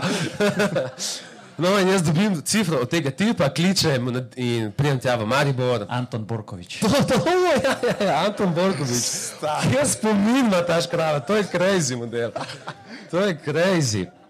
No, in pol sem A ja, ti si prav do Antona prišel. Stari, direkt do Antona, do največje zvezde takrat YouTube, se sedem z njim na pijačo, mladi bo rečem, le stari. Mi smo naredili biznisa požigalca, jaz bom iz tebe naredil pravo zvezdo. In da imamo, da je tam Bog, ja veš, čo enkrat na televizijo, zdaj celo Slovenijo, ti že pravi kul. Cool. In pa on po, podpisal te majice in se niso prodali, ne vem, če smo 20 majic prodali, skratka flop. In potem jaz, kratko sem, sem dal ven, je bil totalen flop. ne. Flop v, v biznisu pomeni, pač ni šlo čez. In smo ful nek, nek, nekih stvari uh, sprobali. No, in potem star os- 18 let začnem voditi za to agencijo. In zdaj imam jaz vsak, vsak vikend, s- pa full vikendov, imam 50 ljudi na avtobusu, ki mi jejo z roke. Jaz sem njihov gajta, ne? zdaj karkoli jaz rečem, je kul. Cool. In takrat je bila ena stvar, da sem jaz ugotovil, da obstajajo droge, ki še niso prepovedane in je siva cona. In jaz najdem na mačarskem proizvodno, rečemo, ekstazi, ki ni ekstazi. A to je to. Ne, ne, ni še to. A ja, ni še. Stari, kjer vod dela. Jaz moram stati že stati. In jaz, kot osem, 18-letnik, iščem tam češka, ma, mačarska proizvodnja teh fake ekstazijev. In pa tako oni, kao če mi lahko sample pošljajo. In on tako, ja, vada, kam? Jaz ko, ja ne morem zdaj na isti naslov, ker je moj fotor, ki je policist, drugač, ki živi. In pa tako, ok, frendi, frendi, tudi no, nočejo sprejeti teh pošiljk. Pa se kaže, vse je legalno, ampak vsi vemo, pač siva cona. Ne? In pa vidim, da je en nabiralnik v našem bloku, ki ni zaseden. Dobim ključ in dam fake persono na ta mail in jaz začnem dobivati bare drog. V kasec, ki ni uradno pripadal nobenemu. Jaz dobim full teh drog. In nisem upal probati. Ampak sem rekel, to je zih kul. Cool. In naredim, po mojem, prvi tak zares poslovni načrt, da mi res prodajo droge na avtobusu. Kaj na avtobusu? Ja, je, ker jaz sem imel, ne vem, mi smo šli na, na ja, na Nizozemsko. ja, ja, ja. Jaz sem imel tam 12 ur folk, ker sem jaz govoril na majk. In vsi so me sprašvali, če imam kaj. Vada nič nisem imel. Sem rekel, čakaj, če pa jaz imam, jaz lahko že za stoj sample prodajam, kjer je marža 100%. Pa sem že cel plan in pa to povem pred kosilo fotorom. Stari, se to ni panike, se to je siva cona, to ni tako iliga. Kako si lahko si predstavljate? I got your back, ja. to ni šlo čez. No, in uh, t, uh, če je to ta biznis, ki je pol mislil uh, škraba, A ti malo pomagam? no ne. Ja, ker sem jaz te prvič prišel, ki si bil v Ljubljani, ki si me povabil k sebi domov, si rekel pozvon na projekt Ljubljana. Da ti malo pomagam. A, zdaj pa še jaz vem. Okay. In, uh, Zdaj pa da vidimo, če bo Zdaj pa da vidimo. res ja. uvod je bil, mislim, fuck. Okay, ajde. ampak, ampak ste se imeli dobro, ha? Ste še kar, še, še, še kar zabavno. Hvala, hvala za support. No, in en izmed teh biznisov je bil, da smo, mm, da sem, jaz takrat bil best friend z, z enim mormonom. A Ne? To je bil moj best friend. Skratka, nisem bil čizih, kaj so te mo- mormoni. Ampak, ampak mormoni lahko seksajo šele po poroki. Ali pa on je lahko, ne vem, to mogoče da se sam v njegovi familiji zve. Sam mislim, da je to pri vseh Pri vseh. mormonih. In ti je pa najdel eno knjigo, The Game. A je, a je kdo bral knjigo The Game? Ne, dej povej. Jaz ne verjamem, da noben ni bral, ampak Ja, to je knjiga, je no, to, to je neka knjiga, ki v bistvu opisuje life um, nekih precej um, brezveznih modelov, ki hočejo biti kul, cool, pri bejbah. In je autobiografija, ki je napisal nek, uh, nek uh, zdaj znan avtor. To je taka njegova prva uspešnica, kjer opisuje, kako so 5, 6, 10 tipov. A ti, ti, ti bral to knjigo? Ne. Ti? Kjer so, Uh, Nil Strauss. E, Ni štas, tako. Kjer so oni se ukvarjali s problemom, ki se, po mojem, vsi tipi ukvarjamo, vsaj do našega 25 leta. Kako dobiti žensko? Skoto reči malo drugače. Množine, množino. Ženske, žensko, imaš vsaj eno žensko, imaš da tako, bog, tako lahko eno žensko dobim, pa bo že fulano. Kaj dobim eno, bo dosti, ja, sežem. Plis, ja. plis. Obljubim. No, in te modeli, marsikdo kdo res to tako prosi doma in to je to. Ampak te modeli so, sej, tako, če kdo tle 20, pa ga to zanima, ful, ful zanimiv story, so naredili cele študije in ful zanimiv story, kaj oni počnejo, da ugotavlja, kako bi oni dobili žensko, ženske. No in, in njihov, njihova vila, v kateri so živeli, oni so ponajeli neko vilo v Hollywood Hillsih, um, kjer so organizirali neke žure in spoznavate, Luka se, se smeji, ki je verjetno bral to knjigo. Se ja, ne. Um, in uh, oni so te, to vilo poimenovali Project Hollywood. Ki je bil projekt, da oni v bistvu najmo to vilo in ugotovijo, kako bi zdaj počasi odkriva. No? In ko se jaz predstavljam moj prvi flat, se je moj flat to reklo, Project Ljubljana. A, a štekaš? Znači, Hollywood, Project Ljubljana. Če bi, če bi kdo od sosedov opisal knjigo, kaj je doživelo, bi ta knjiga bila precej prazna, dolgočasna. Ni bilo tako, kot v Project Hollywoodu. Mi smo pa pač na idejo, ki smo začeli delati online biznis, kaj bi lahko mi vse prodali prek spleta. Ne? In uh, največ uspeha smo imeli z nečem, se pač make sense. Sicer, um, vzeli smo full PDF-jev, iz, uh, od, od njih, ki so oni, vsak je tam živel, napisal neke, neke knjige. Mi smo te knjige vzeli in pa smo napisali knjigo, sem jaz napisal knjigo, kako dobiti babo. E, kako je bil naslov za res? Mislim, da imam ta PDF nekje slovenke. A ti imaš? Mislim, da imam na drivu. Mogoče se mi nismo takrat poznali, še jaz ne vem. Ja, sem potem si mi poslal, A, enkrat sem se pogovarjal o tem. In to ti je live spremenil. No, boš pol, kar končam. Kjer sem je zaradi tebe, Jani, tako da hvala ti za to knjigo. Tako da jo bomo polinkali, da lahko komu drugemu live spremeni, ne? No, kaj je bilo hesno pa tem biznis? Ta, ta, ta biznis je pa, je pa čudno, da to zelo mali in pa smo nehali. Mi smo te PDF-je prodali, če se prav spomnim, za 100 evrov. 100 evrov, mislim, je PDF. Kaj tako, veste, da v knjigarni knjige nad 20 že ne prodajajo. Mi smo prodali tega slovencem tako, shitload. Ne? Pa ne zdaj, mislim, če Fudz to posluša, nismo to skoraj nobeno poslali, vsi so to dobili za stojn. Za vas lahko povem, to so slovenci kupovali kar fukini. No, v biznisu je ful pomembno, tisti, ki delate online biznis, so ful pomembni upselli. Tako ti njega že pripričaš, da kupi eno stvar, da mu proba še uturiti še nekaj zraven. In pa mi, jaz, mormon, pa še en model, brainstormamo, kaj bi še lahko tem potrebnim tipom, ki hočejo ženske dobiti, prodali.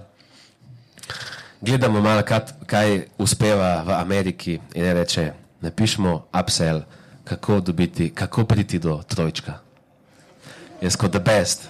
Edini problem je bil, da dobeš nimo trojčka. Ampak brez dvoma, ta knjiga se je napisala. Ej, a, a si videl tega tipa? To je uno 50 posto, koliko je odkrita, veš. Entertainment. A, a, a, a, omejil sem to, a kaj je? Ne, ja, da si...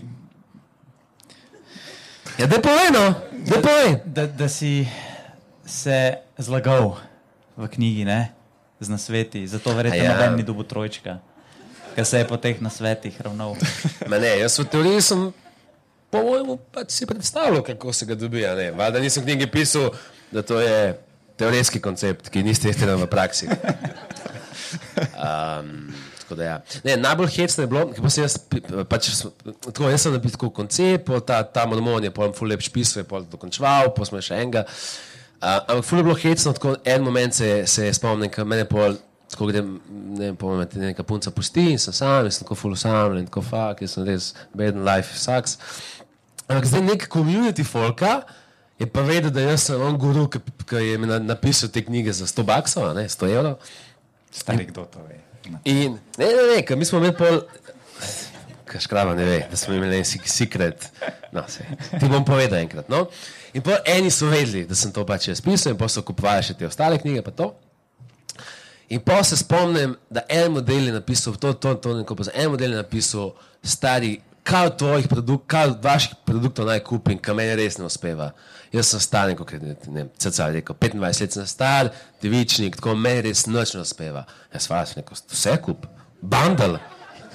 Mislim, vse moš kupiti, če ti ne uspeva, moš iti all in stari. On kupi vse to. In najslab, najslajši in hkrati najgrenkejši moment je bil, kaj čez kako leto, dve. Tako ste se spoznala, to je bil on. Nisem hotel tega na glas povedati, škrava je kupusa. Si bandel kupil. Škrava si ga je še sprintu. Da jaz vidim tega fanta, kak leto, dve, verjetno. Zatem, ker sem jaz zdaj samski in osamljen in hodim po čopovi dol čez prešetca in ta model se drži z roko, za roko z eno res slušno bejbo. Jaz ga prepoznam, zato ker sem na Gmail slikci videl, kdo je ta model. In je bil sladek moment, ki sem mislil, da čeprav so koncepti teoretski, vidim, da v praksi delujejo, to je, to je bilo sladko.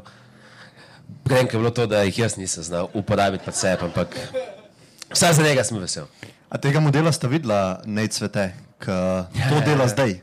Se pravi, Ja, moški. če si na YouTubu, ne a YouTube za me misli, da jaz to rabim videti, ali to vsi moški, ki smo na YouTubu, vidimo.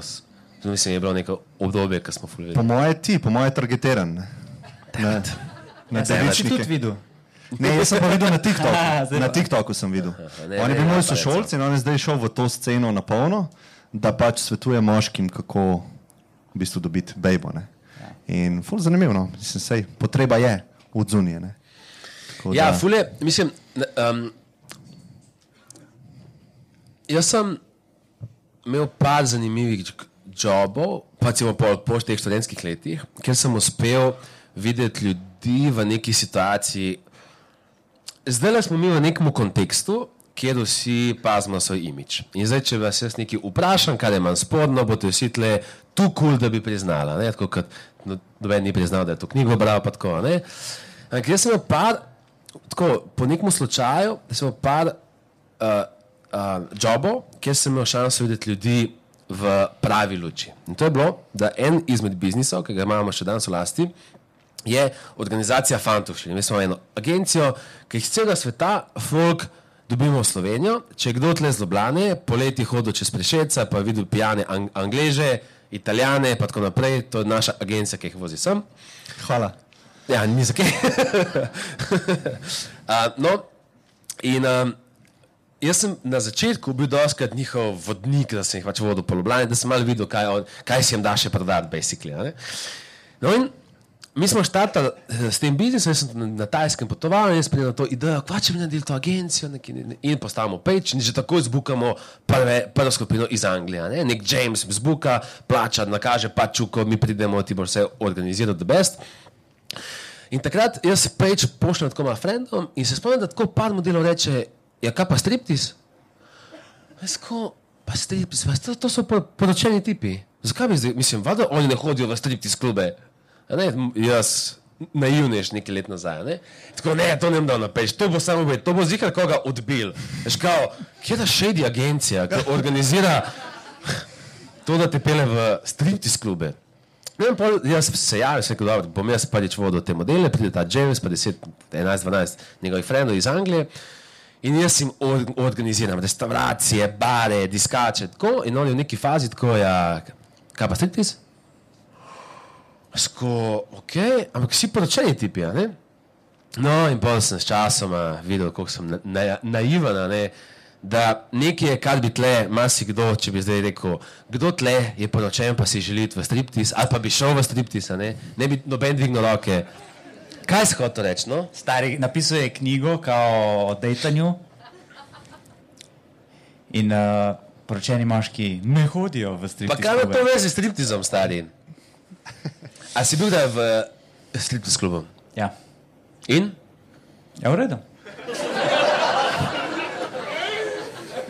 Ne vem, kaj se okay. Okej. misli o tem.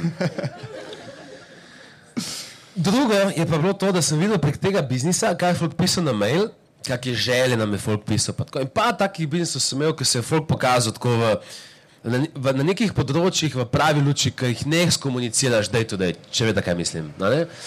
In um, to se malo veže na to transparentnost nazaj. ne. Um, da, zme, da v bistvu sem na nek način zmeri, eh, tako, zmeri raj sem imel ljudi, ki sem pač videl, da pod kožo smo vsi krvavi. In da v bistvu, ja, da polk sem videl neke scene, da če, ni, če nisem džadžu, pa sem bil tako, model dispoločen. Privat šov si vzel v slipti s klubu. Kva? A ja, za, a zase. Ampak ja, polk pač se spoznamo prek teh scen, prek teh ostalih biznisov, se videl, da, ja, da nekaj je, kar ljudje rečemo, da bomo naredili, rečemo, da bi naredili, nekaj je, kar pa pol dejansko naredimo, ko smo upiti, zadeti, ko smo v neki stiski, krizi, ne, da to ni zmeri isto. Ja, se strinjam. Zdaj imamo dva, dve smeri, kamor lahko gremo. Lahko tole nadaljujemo, lahko pa naredimo kratko pauzico, ki me bo me- mehur počel. Um, pa naredimo pol en tak, uh, če bo vibe za vprašanja, um, en tak slot, 15 minut, 20 minut. Um, tako da jaz sem za VC v bistvu. E, kaj hočete? Ampak jaz sem za vece. Ja, lahko naredimo vece. Ampak, DJ, a imaš musko redi? Lokalno štima. A ti si tudi na tak način, kot jaz. Lep si, ampak a imaš 25 na uro? Vsaj 25, da best. Je kul. Cool. Ej, kul, cool, pa, pa naredimo kratko pauzico, pa pa vprašanja. Koliko je ura? O pol začnemo. Ej, sam, ej, čakaj, čakaj, sam en rul je. Noben ne sme zdaj takoj na vece, ker pa da gremo mi. Pol pa je. Ja, please. A ja, pa sam še to. Um, tam je Mike za vprašanje, tako da boste prišli zraven, um, povedali svoje ime, povedali komentar, eh, kritiko, karkoli, vprašanje, tako da imamo malo tega stika z vami. Tisti, ki bo dal najboljše vprašanje, imam tukaj eno majčko za njega, no, sem tako le, sem hotel reči. Hvala vam. No. Ja, škrabo čakamo. Kam gre na K ta folk, ga čakamo? Ampak on stari skozi to dela. Sploh ne govori. Škrbej. Se mislim, da bi bil podcast boljši brez njega. Mogoče, mora enkrat prav. A ja, ne se sva, že parkrat. Moram malo viewe pogledati, mogoče boljše. Sej ne, no. A ne, ne, ne, se ne. Ja, ja. Sam hecali smo se malo. Kje je kolega prid? Okay. Okay. Sem pa vse slišal. Okay, part uh, tu, malo uh, dialoga z vami, če boste želeli.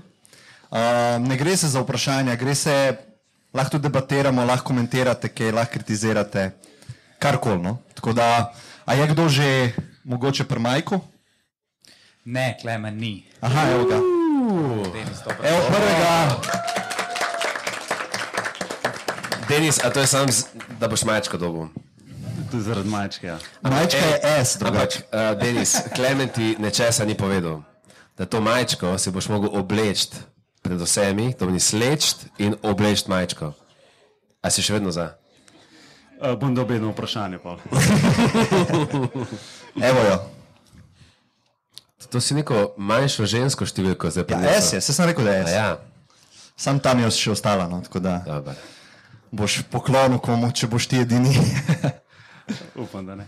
Uh, okay, se pravi, kaj je ena lasnost, ki bi jo vi tako vzeli, se pravi, drugo drugega?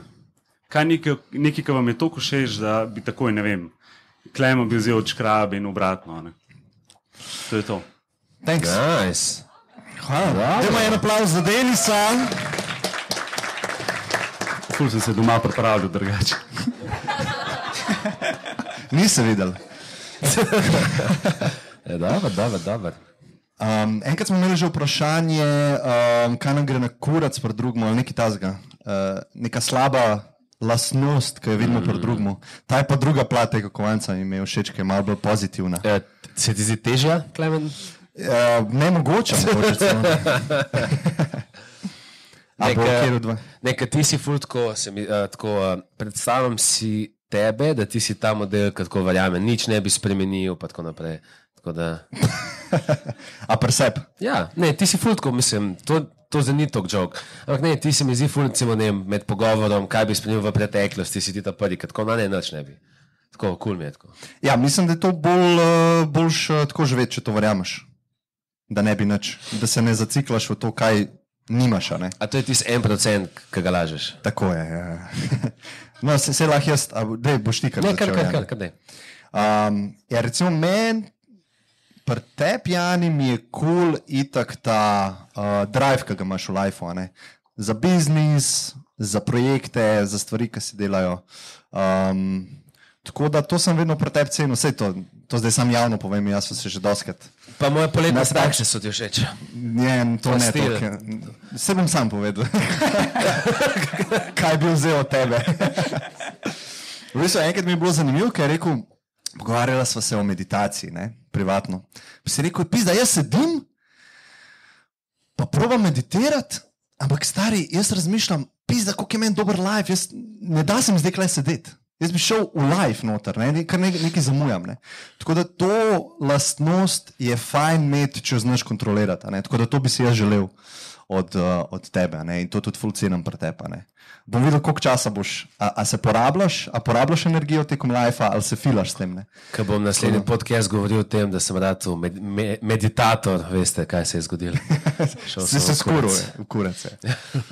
Ja, pri Andreju pa ta ostrina, eh, preudarna, tako poveš stvari lepo, počasi, jasno.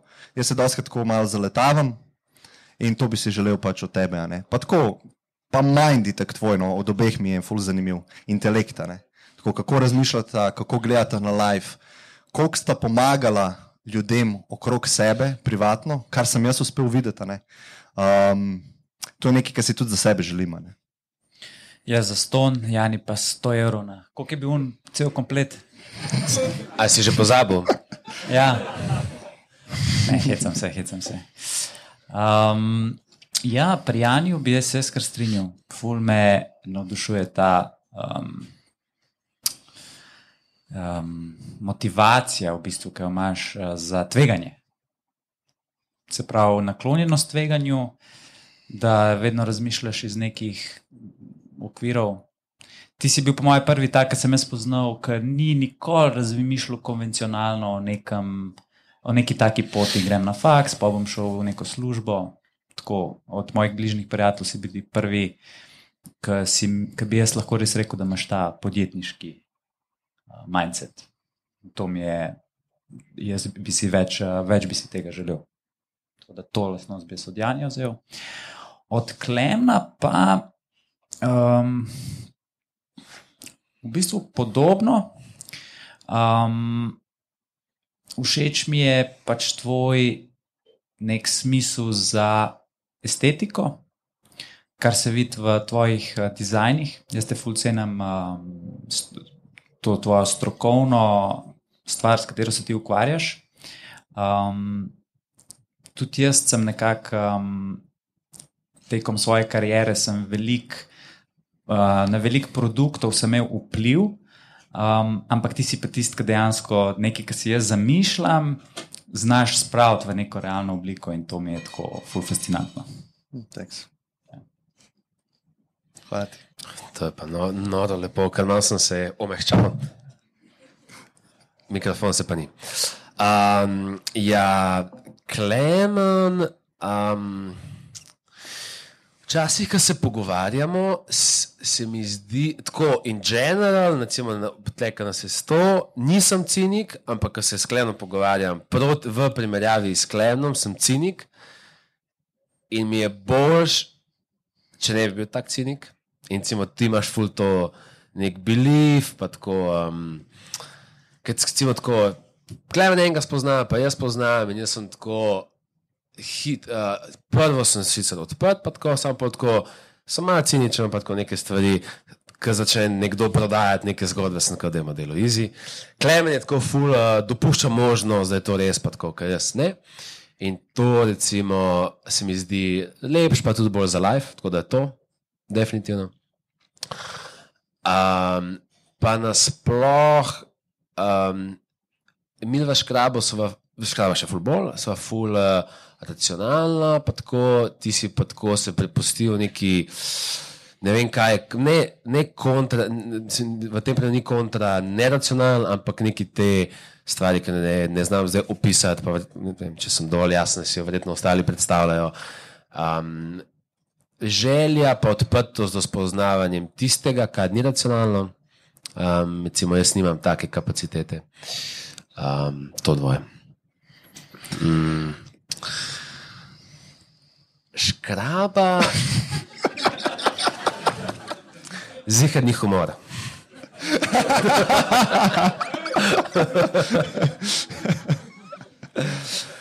Uh, ne, V komentih so do- doskrat rekli, da ti ne štekaš od škrabeta. For. Kako so že rekli, high ej, IQ level ej, fore. ej, a je možno, da je to fake profil od škrabe napisal? Vse je možno, stari. Uh, veš, kaj se največkrat spomnim na te? Um, ko prije pri biznisu do številk in moč full hiter, full številk čez prst oceniti in skupaj, da bi zdaj le bil škraba, ki bi tako, ja, 24 krat 512, približno tako, aha, ok. In tako to, in ko berem kakšne poslovne izide, pa so tako številke, sem tako, a zdaj le bi full bil škraba. To je recimo največkrat se to spomnim. ne. Vse pa me pokličeš. Ja, Ej, ima meni spreči. Ja, moram spreči. A te zanima? Tako ne. ne no. Kaj če ima pogled moje formule? Ja, da te Exceli, pa to, so te številke, sem tako, zelo bi ful dobro, pasal in tvoj intelekt, majt. To se največkrat spomnim. Um, drugo je pa ta nek um, čil, um, ta nek čil moment, ki ga imaš, klemen je temu rekel prodanost, ki si malo, mogoče mi jaz klemnem bolj, ki se mogoče, tako recimo, kje se pozna, pa mi je kul, cool, da isto stvar poveš s ful manj besedami. To mi je full cool. Me Tako, a, bes pizda, če bi jaz bil to Pa prikran. počasneje. Veš, kaj jaz govorim 15 minut, v bistvu, ko bi škraba v dveh stavkih povedal isto. Sicer ne bi bilo tako smešno, ker nima smisla za humor, ampak bi bilo pa učinkovito. Um, to sta zih prve dve stvari, ki se spomnim. Thanks. Um, ja. Malo čustveni momenti, ne? A se bomo zdaj objeli, poljučkali? A Dajmo presekati to z enim. Uh... A ima kdo še kaj? Či, či, či, či. To, Klemen, si naredil, po mojem, nisi nobenega podkupa, ne? da gre gor. Ja, Denisa, in en je prišel. Ja, Ja, njemu sem dal 100 evrov. to je pravilo, pravilo. Um, Aha, ne, ne, ne, čakaj, čakaj, A čakaj. gre na WC, a gre domov? Čakaj, čakaj, čakaj. to je bilo ful da brez, da bi sam šel. Ko ne, ne, fantje. Fuck you guys. Ja, živ, Hvala. ja, hvala vam. Živijo, jaz sem Blaž. Um, in zdaj imam tako. Klemen, tebe sem doskrat slišal govoriti, da tako, doskrat si rekel, da je sreča odločitev. In tega iskreno nimam pojma, kva govoriš. In tako da bi bil, ful bi tako ocenil, če mogoče malo to elaboriraš, pa kva si videl, mislite o tem. Tako, Čakaj, A kaj je- si rekel, elaborataš? A- Kaj ti delaš, promocijo, kako je en že napisal tam, delate promocijo angleški za jezik. ZDA, pa nisem dovolj znam tega imperializma. Enkrat, enkrat na dan dobim glede angliških izrazov. Ej, ej, ampak tle se Komentar. vidi karakter, ne čakaj, čakaj, čakaj, čakaj. Tle se vidi karakter od škrabe. Najprej nas tobačno spreme in prva stvar je škraba primerja s taboriščem. Potem, ko mi dobimo enega, ki iskreno želi nas nekaj vprašati in ga škraba zmerja, da, je, da dela za američane. Škraba. Ne, jaz sem dal sam primer. to je konstruktivna povedal. kritika. Ja. je- Ma, niti ni konstruktivna, to je samo kritika modela. Pojasni, A, okej. če lahko pojasniš. Klemen. Ne, daj ta vidva prvo. Ej, uh, veliko. the best vprašanje, thanks. Okay, mogoče samo tako, če, če ga povežemo, se pravi, a je sreča posledica delovanja, a je sreča samo odločitev dejansko, ki je neodvisna od mm -hmm. tvojega. Osebna sreča. Ja, ja, tako osebno sreča. Super, hey, the best, thanks. A lahko ostaneš gor, sej čistko, če bomo kaj še. Jaz mislim, da je oboje. a ne? Odločitev za delati stvari, ki so posledica za srečo. Sprav, ti se odločaš, da delaš stvari, ki te bojo pelale proti sreči. Ne? Ok, sam, a ti rečeš, zelo nisem, recimo, zelo menilih, fajn, zelo se bom jaz odločil, zdaj bom nekaj delal. Nekaj bom naredil, Ja, ampak a, a ti rečeš, ok, zdaj mi nekaj časa še ne bo fajn, pa bom poj srečen. A ti rečeš, ne, ne, ne, ne glede na to, koliko je moj life, mislim tako, mi ne gre tako dobro, kot- kot hočem. A, ne? a ti rečeš, ne, v bistvu jaz sem že zdaj pomirjen, ker meni se zdi, da pol nimaš nekega tok drive, mislim tako. se strinjam. Pa jaz ne bi, ne bi podpisal tega, da nič pol ne delaš, pa da ja. naprej razmišljaš, nikoli ne bom srečen, še dva, še, čez dva dni ne bom srečen, sigurno ne bom. To so novi konstrukti uma, ki te glih pelejo v nesrečo. Ne? Zdaj pa delovanje je pa druga plat tega kovanca, ki pa ti nehaš razmišljati, pa se spustiš v ščetkanje zob. Pa pač takrat ščetkaš zobe, a ne pa moraš biti pozoren na to, da ščetka zobe. Pa pa je nasleden, pa nasleden. In kar naenkrat se zbudiš in se zaveš, pizda, jaz sem srečen. Ker sem si ščetko zobe. Tudi, ja. Tudi. Mislim, a je dobro si ščetek do zobe? Ja. A je dobro iti na sprehod? Ja. A je dobro delati nekaj proti, za svojo kariero, ki vem, da bi mogel narediti podlašam? Ja. Se pravi, odločitev je v takem smislu. Ne? Nisi pa vedno sposoben te odločitve narediti. To je pa no. realnost life. To bi pa moj naslednji vprašanje. a. A ti prideš v bistvu na en point, kjer je pol tako vse tako postane, a ne? Kokar v vsem uživaš tok, a ne? Mislim, in ti niti ni to važen, tako ne gledaš tok, ali, je, ali si ti vsak dan se v bistvu odločaš. Ja, mislim, to je malo kočljiva situacija zdaj, ker karkoli bi rekel, je narobe, ker, ker je spet razmišljanje zraven. Jaz mislim, da je razmišljanje, saj pri ljudeh, ki vidim, ki trpijo, je ponavadi posledica prevelikega delovanja procesorja. Vse. Te meditirati. Ja, mislim, meditacija, ščetkanje zob. Ja. Kot sem ga opisal, je v bistvu meditacija. Pol, pol, a veš, ne ločuješ več, zdaj sedim tako, kot Jani pač ne more sedeti, ampak on je lahko prezent v nečem drugem. Ne? In to v bistvu sploh nima veze, ali on meditira ali ne.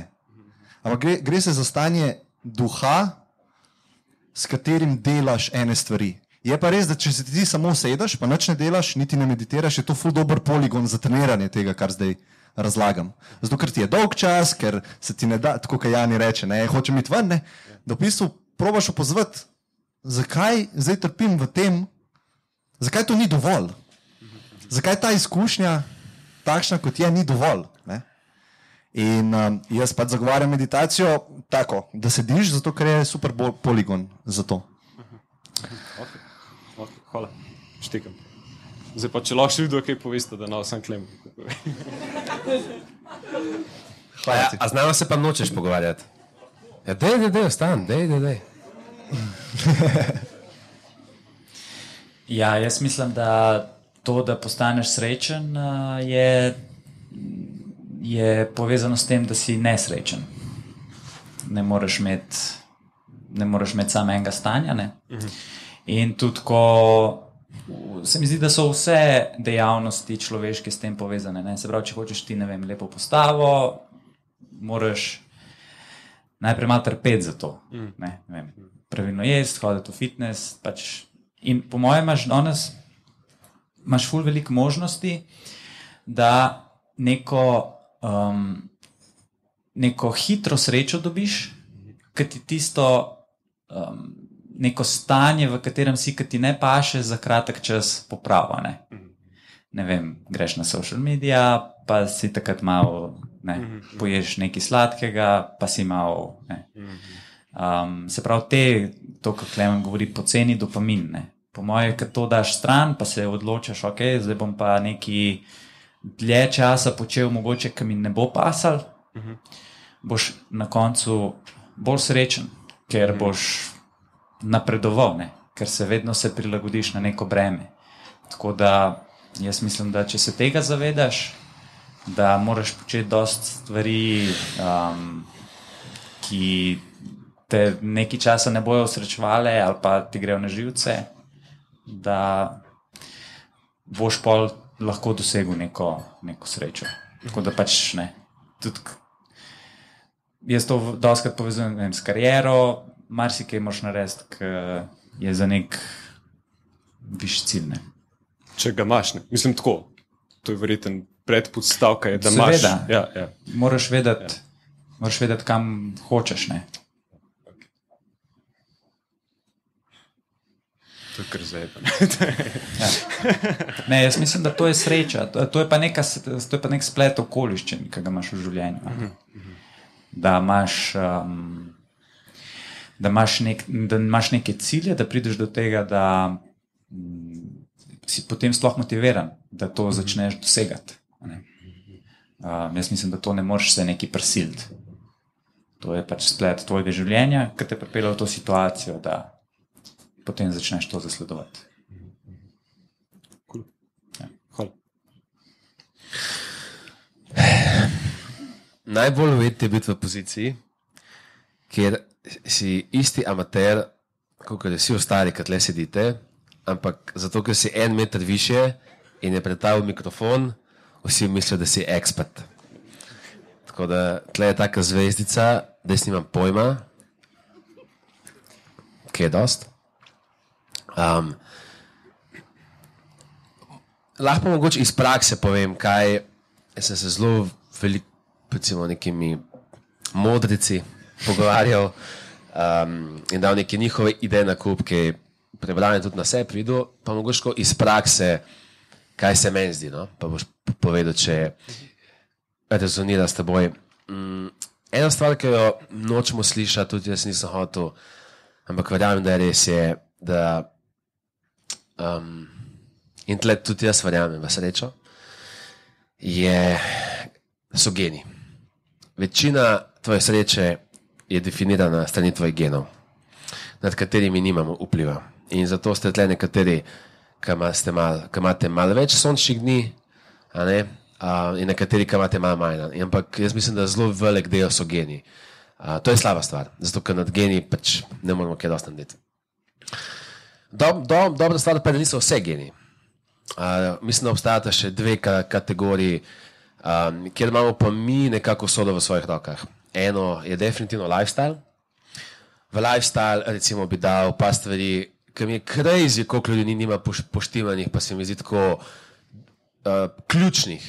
Spanje. Koliko od vas tle spi v popolni temi, ker če date roko pred sebe, ne vidite svoje roke tudi po petih minutah? Ja, te so zihar. Ja. To pomeni spanje, kdaj hodi spat, a spiš v popolni temi, če je hrup, a imaš čep, čepke noter. Pa, to je tako osnova, kjer fejla večina folka. In vsi vemo, ker nisi fulno span, ne performaš tako dobro, ne počutiš se tako dobro. ne. Ampak tle je 5%, 10% razlike, ki pa ne začutimo, ne, če pač mal nismo v temi spali. recimo. In tle je huge, tisti, ki imate ora ringe, ure, si lahko zmete, tema je huge. Uh, to pomeni spanje, eh, zdaj to pomeni prvi sklop, ki nima veze z geni, bi jaz rekel spanje, dieta, Um, zdaj je poletje, zadnjič sem se pogovarjal s to punco, ki um, je marketing manager na Voltu in me ful zanimalo, tako, kaj slovenci jemo. In recimo, kar je bilo najbolj fascinantno, je to, da healthy food se prodaja na začetku tedna, pa v začetku dneva. Vikendi, pa tam po peti, šesti, noben ne je več healthy fooda. Kar dosti pove o nas. a ne. Ja, vsi festa, ja, rekel. I hope so, I hope so. Ampak ne vem, zakaj pa spajka hamburgerji po šesti zvečer, pa vikendi. Uh, tako da je spanje, food. Uh, tretja stvar je pa okolje, v katerem živiš. Tle noter bi dal definitivno, mislim, že to, da si v Sloveniji, si del skeku, da nisi zdaj v Siriji ali pa Venezueli in tako naprej. Uh, kaj pa marsikdo ne skeka, je folk, s katerim se obkolmo. In mislim, da je to ful pomembno, glede na to, kako srečo doživljaš day, day, day to day. ne. In to tudi vpliva potem na to tretjo kategorijo, ki je pa mindset. ne. V vsako življenje pade dež. Tam, kjer dež ne pade, ni življenja. Uh, v Saharo dež ne pada. Ne? vi- v- Vsi vemo, koliko manj življenja je tam, kot v nekem deževnem gozdu. In tudi v tvoje življenje, v moje, v naše, bo padlo še veliko dežja. Um, in mindset je pa tisti, Jaz sem uh, ta moj message bi bil ful resen, če ne bi imel te dva heklarja. heklarja. Uh, in mindset je tle ključen, ker na koncu dneva je nekaj, kar se ti zgodi v lifeu, pa nekaj, kako ti razumeš, kako ti gledaš na to stvar in kaj ti narediš s to stvarjo. In na nek način je to vse povezano, kar sem prej naštel. A si naspan, a si dobro jedel, a si se school folk hangu.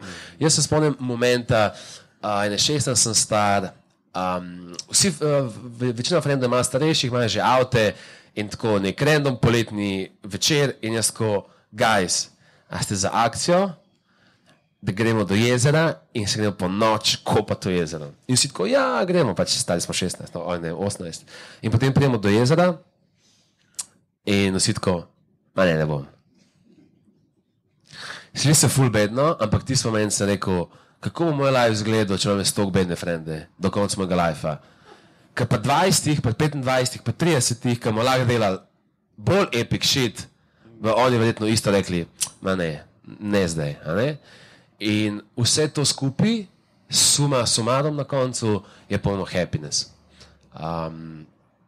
Kaj si jaz recimo opazil pri sebi, zdaj poleg vsega tega, ne, um, je mogoče pa stvari. Cilji so, cilji so tudi, tudi, uh, tudi uh, študije tako kažejo, ne, zelo pomembni, da nas ženijo naprej. Um, predvsem pa se mi zdi, da največ na, naših poslušalcev, nekje v, tam, med 20, 25, 30, a ne, vidim, da ponovadi sprašujete, sprašujejo po directionu, po neki smeri, ne, kam naj grem, kaj je pravi job za me, kaj je prava knjiga za me. Ker mislim, da direction niti približno tako pomemben, kot movement, da se ti samo premikaš nekam. Jaz mislim, da full velik good feelinga dobimo v life s tem, da začutimo, da smo malo boljši, kot smo bili včeraj. In malo boljši, kot smo bili predvčerajšnjem. In največji fuck up, ki ga tudi jaz naredim prepogosto, je, ker namesto da bi se primerjal s seboj včeraj, se primerjam s frendom danes. Ali pa tudi s frendom včeraj, ki ima veze z mojo potjo. Um, ampak v osnovi, noben noče tega slišati, ker je tu simpel, ampak dieta, spanje, frendi. Po, po mojem pokrije 80% stvari, ki so v tvojih rokah. Genijo pač ne moš. Zaenkrat. Moje, veš kaj, mislim, tako, ker rečeš, da večina folka tega ne, ne verjame. Ali kako si rekel? Da, Če se ne verjamem, meni men nasploh. ne, ne, tem, tem, tem na svetu, mislim. Tako. Uh, ne, ne, da noče slišati tega, um, uh, da noče slišati tega, da ful vpliva na to genij. Jaz mislim, da a ja, to. a- Ja, okay, sorry. Ja, sam, sam to. je, Bolj sem hotel reči, da po moje je bolj to, da ti nekako ne verjameš. a Ne? Mislim tako, dokler ne probaš, vsa, ne vem, jaz zase zdaj govorim, a ne? ti ne verjameš. Ne? Lahko ti en reče, hej, malo si smotan, zato ker nisi spal dosta. ne. Pa sem tako, kaj s tabo, jaz sem smotan. A, a Uh, good point, te bom challenge. Jaz mislim, da ne, da ne verjameš, pred ne probaš. Jaz mislim, da vsi to ste probali, ampak niste znali trekati tega. Vsi tle ste imeli kak dan, pa kak vikend, ki ste dobro spali, dobro jedli, bili s cool folkom, ampak niste znali trekati, da te, ta vikend je bil ful boljši kot naslednji vikend, ker ste spili eno pivo, našli na hamburger, šli z nekimi sodelavci, ki jih nimate radi na pijačo, ne? in niste znali trekati in niste znali povezati tega. In v vaši glavi je happiness random. En vikend sem pač good, pa en vikend sem malo manj good. ne? Jaz mislim, da ni to, da folk ne verjame, ampak folk ne zna zlinkati določenih stvari skupaj. Jaz mislim, da je tle večji problem. Ja, ja- jaz bi se kleči strinjal, če lahko sam dodam, ker to je nekaj, kar delam v svojem lifeu zadnjih dve leti. Se pravi, da v bistvu probujem biti res pozoren na feedback, ki mi ga live da. Ne? Se pravi, po neki akciji, to, kar je Jani rekel kot trekanje. Ne? Jaz to slišim kot trekanje, lahko tudi uh, zavedanje. ne. Se Pravi, da ti zavedaš se svojega stanja, pa probaš pa najti link. Aha, včeraj nisem bil tako priden glede uh, spanja, hrane, bil sem na fonu do treh zjutraj, še maru sem Instagram, TikTok da znaš ta link narediti, zakaj se počutiš slabo. Ne? In pol to parkrat vidiš, in pol se nekaj naučiš, ne? in pol probaš še le drugače. In pa se spet naučiš, ja, res je to. Ne? In pa, kar res, res razumeš, kar res, res razumeš, da imajo tvoje akcije posledice dolgoročno na tvoj pogled na life, na tvoj life, pika. Ker za res, za res razumeš, pol po moje se lahko začneš reševati iz tega. Ne? Predtem pa se ne moreš, ker ti sploh ne veš, kaj se dogaja. Kot je Jani rekel, random je vse. Ne? Pa Jaz še, nekaj, pač pa še nekaj tle. Jaz dejansko mislim, eh, eh, tako eno stvar, ki bi upgradil. Nek sem zanj čakal, ne vem kje. In slišim neko, neko gospod reči, ki je pač očitno ima probleme z prekomerno težo. Nek joke v smislu, um, boljš dva tedna sramote, kot eno leto stradanja, nekaj, nekaj v tem smislu. Ne? Je bilo, je bilo fani, pa smo se nasmejali. Am, ampak potem sem razmišljal, da, da marsikdo še sploh ni dojel tega. Healthy food, pa ne vem, pa spanje, pa tako, sploh ni za, za longevity fora. Ta argument, dlje bo živel, je garbage. Argument je, ta ten bo boljši. Ampak marsikdo ne ve, ker ni streko tega. Ampak recimo zdaj, to vam ful priporočam, tis- tisti, ki hočete malo skekati sebe. Dajte, Oda Ring, tudi verjetno ta Apple Watch, tega nisem probil.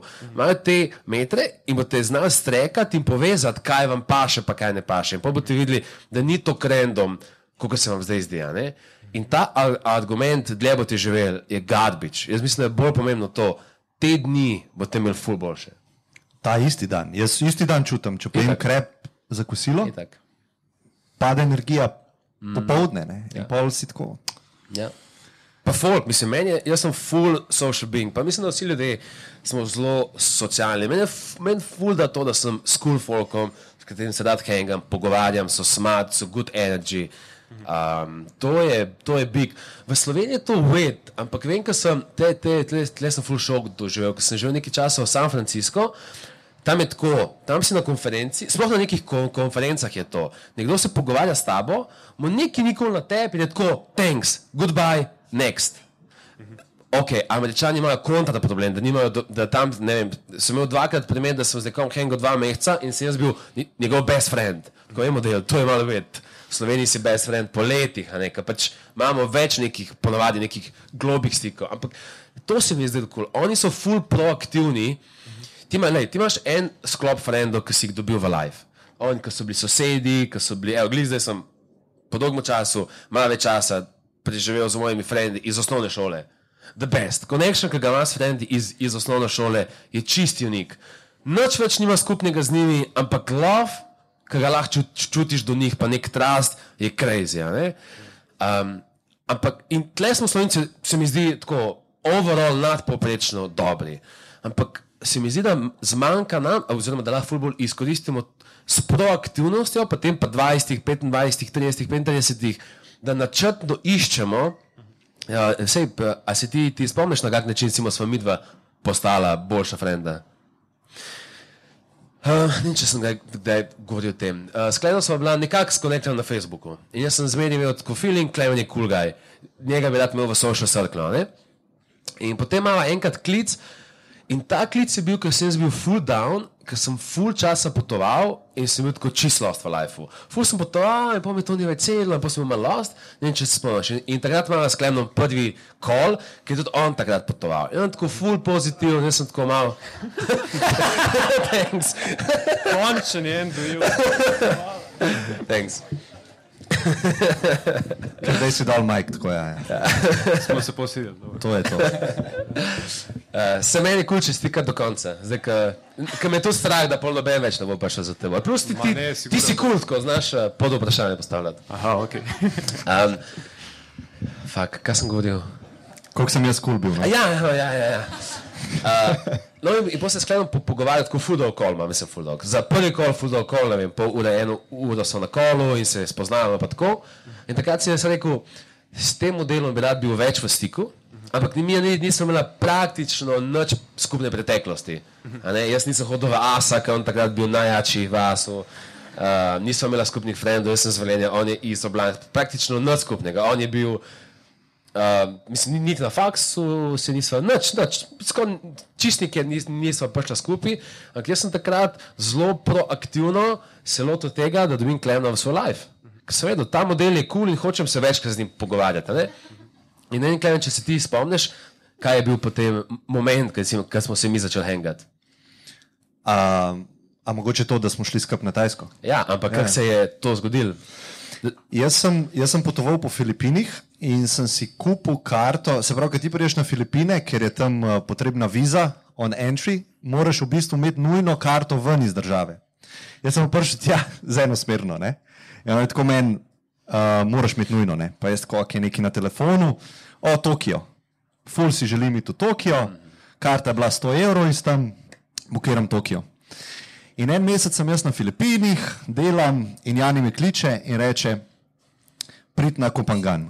Uh, mi se v živo, mislim, da nikoli nismo govorili prej. Ne, mislim, da ne. To meni jaz kličem random tipa iz Facebooka po telefonu in ga prepričujem, da gre z ostalimi random tipi, ki se pa sploh pogovarjajo. Jaz mislim, da se z ostalimi ti niti pogovarjali nisi. Uh, Gašpor je bil moj prvi šef Aha, na zga- par ja. sekund. Ja, ja, okej, okej. Skupna Ja, ja. družba podjetnikov, oni so bili starejši, Ja, ja, mi smo ja. bili mlajši. Ampak jaz random tipa z Facebooka prepričujem, da preleti na Tajsko. Ta level proaktivnosti, če bi ga folk imel, bi po mojem imel ful boljši life. Ker ti, ki si 25, nisi več na istem levelu, pa na istih frekvencah, kot takrat, ko si bil 15. Ampak nekako nikoli ne posinkamo z novim folkom pred 25, pred 35. a ne? In jaz mislim, da biti proaktiven s tem, da napišeš enemu, tle zihar, sedi par ljudi, ki sem jih jaz cold messageal na Facebooku ali Instagramu, hej, a gremo na kosilo. Fakt. In uh, ja, to je nekaj, kar sem se od Američanov naučil. Ja, ti imaš to res uh, sposobnost, ker zdaj, ko razmišljam za nazaj, doskrat si bil ta konektor, glih zaradi tega svoje tendence, da ustvarjaš svoj krok, ampak posledica je pol bila, da so se zgodile ene stvari, ki jih ti nisi mogel kontrolirati. ne. Sploh ta Tajska, ne, ki je bila za nas vse life changing, ja. uh, dobesedno. Ja. Ja. Ker Jani doskrat reče, a, a je kaj life changing ali ni, to je krit- kriterij, a gremo to, ne? pa preveč upleta s tem life changing. Ne? To je res bilo life changing za velik mm. od nas, vse to so se doskrat pogovarjali. ne. Ja, tam se pol ves vzpostavi in ta ves je potencial za karkoli. Mislim, Projekti, mislim, že to je, da to. sploh kle sediva. ja, to je to. Pa imamo tega zraven. Uh, ja. ne, uh, okay, sej, zgodba Škrabo je spet en model. Organizira skupino, ki se bo dobivala na ekonomski fakulteti, nekih kao ambicioznih študentov, ne vem zakaj me ne povabil. Um, in, uh, a veš, to je connection, ki so vlaš Škrabo stala 1920. Deset let kasneje delamo tle neko kul zgodbo. Ki je bil en proaktiven, pa združil nek folk. a Ne? In to je big, jaz mislim, da, je- da je to big. Tiska to skeka v lifeu, no to. Ja, prav. Se Strinjam. Tak long odgovor na short question. Ja, to je bil zdaj cel rafal, mislim tako sem. A si si pisal? Vse je posnet, da boš pa Jaz bi si doma. mogel, ja, se to je. Ne, ful, ful mi je. Moramo dati timestampe, kaj Jani govori, bojo timestampi med njegovim govorom. Se spremeni. Kaj si hotel? V bistvu dost, mogoče ni tako povezana tema, mogoče če gremo na kaj drugega. No. Kar novo. Ti si zdaj um, moderator, host. A, okej, zmeraj. Dej, dej, dej. Dej na majk. Ja, Dej. evo. To kar podaj. Eno, eno vprašanje. Vem, da Jan, opa, Jan je najbolj promovira to idejo, pač, da, s katerim folkom se okružiš, da je pač to ful pomembno. In me zanima, kako se znebiš tega pač gilta, da greš iz kroga družbe, ko pač veš, da ima dobre namene za tebe, ampak njihove navade ful slabo vplivajo.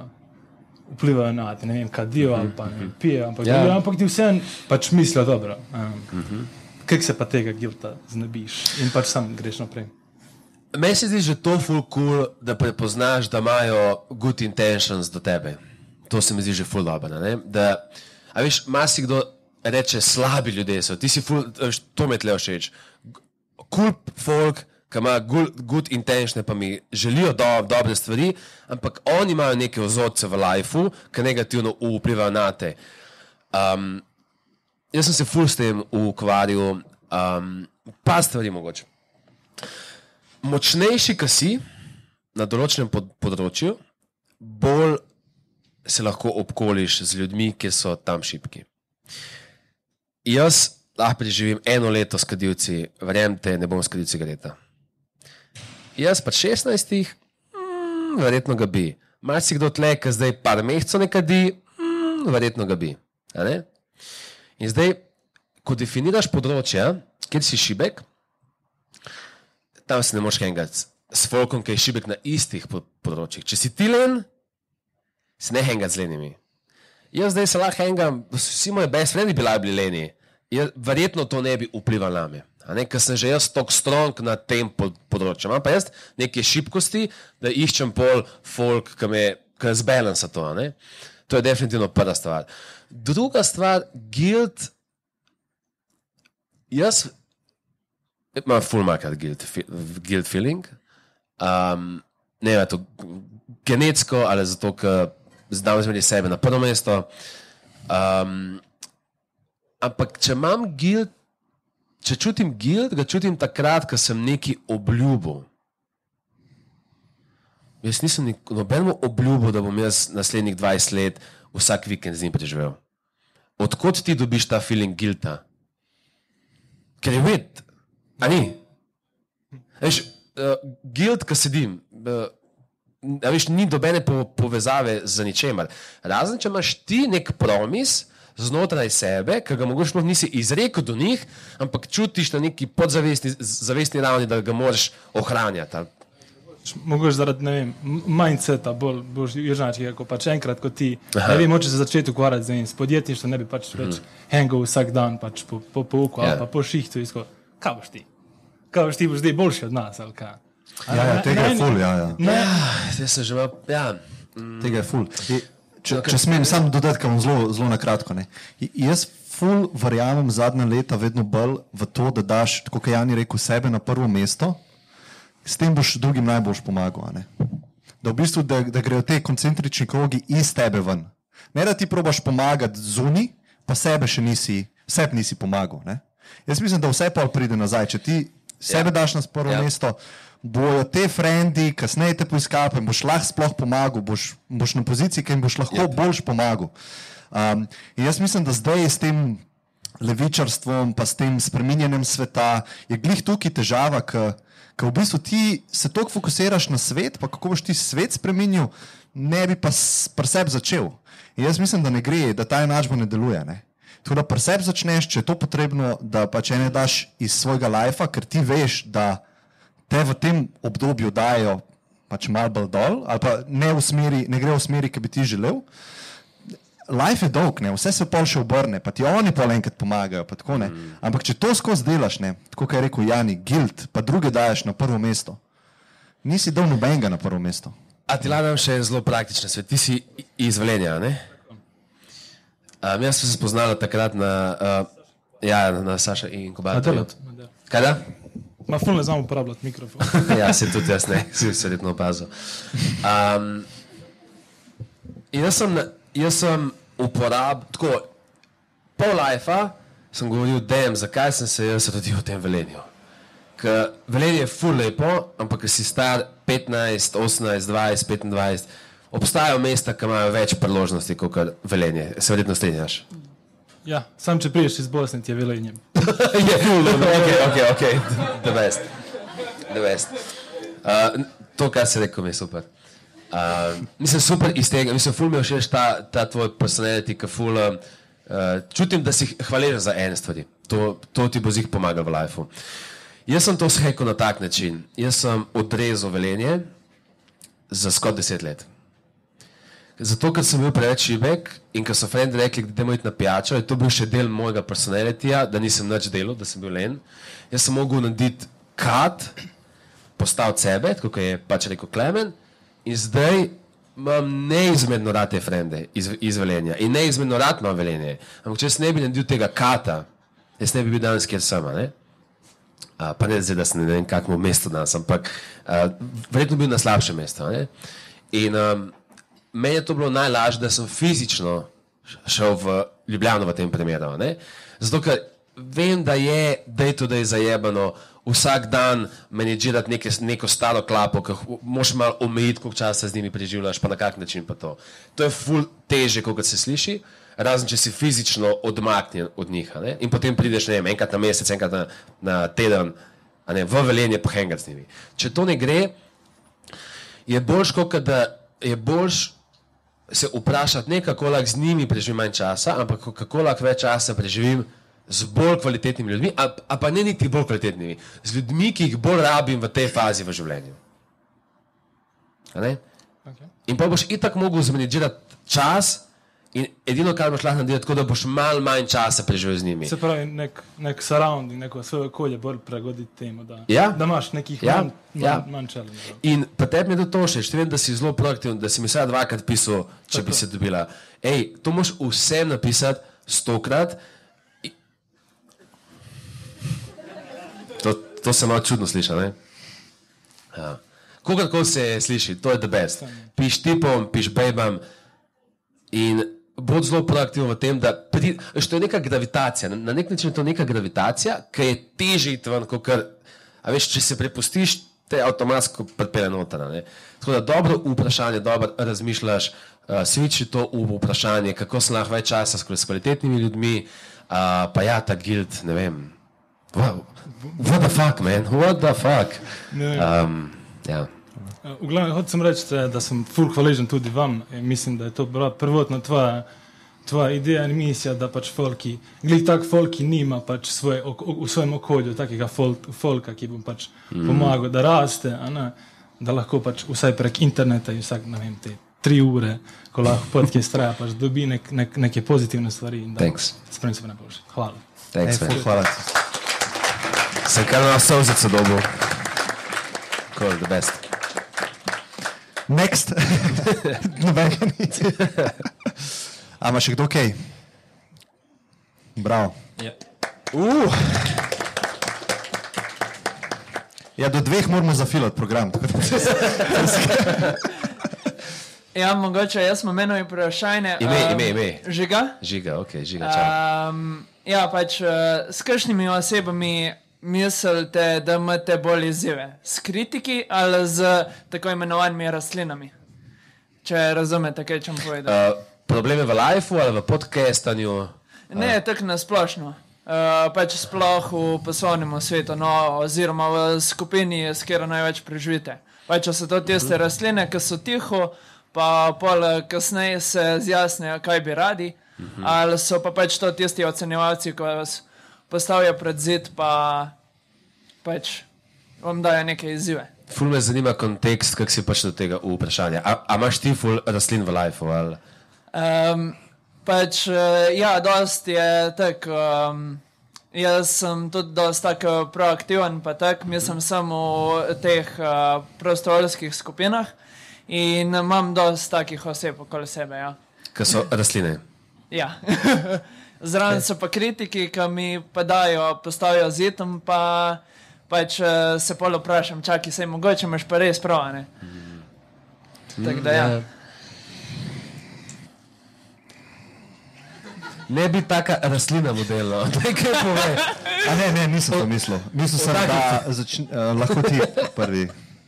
A to v botaničnem vrtu delaš? Um, Eni, eni punci so ful všeč eh, od Andreja Fore, tako da Jani, Jani se je ful smejala zdaj.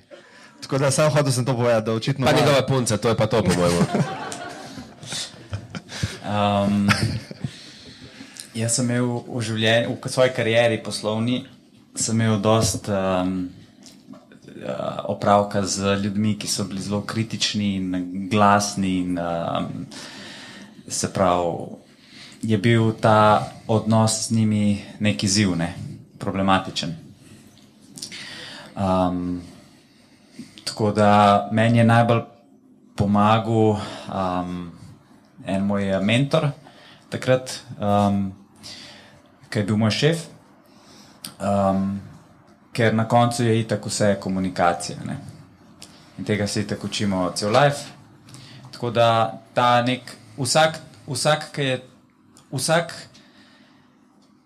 vsak kritik, oziroma vsaka kritika ne razkriva kritiziranega, ampak kritizirajočega, a ne, tak, ki daje to kritiko.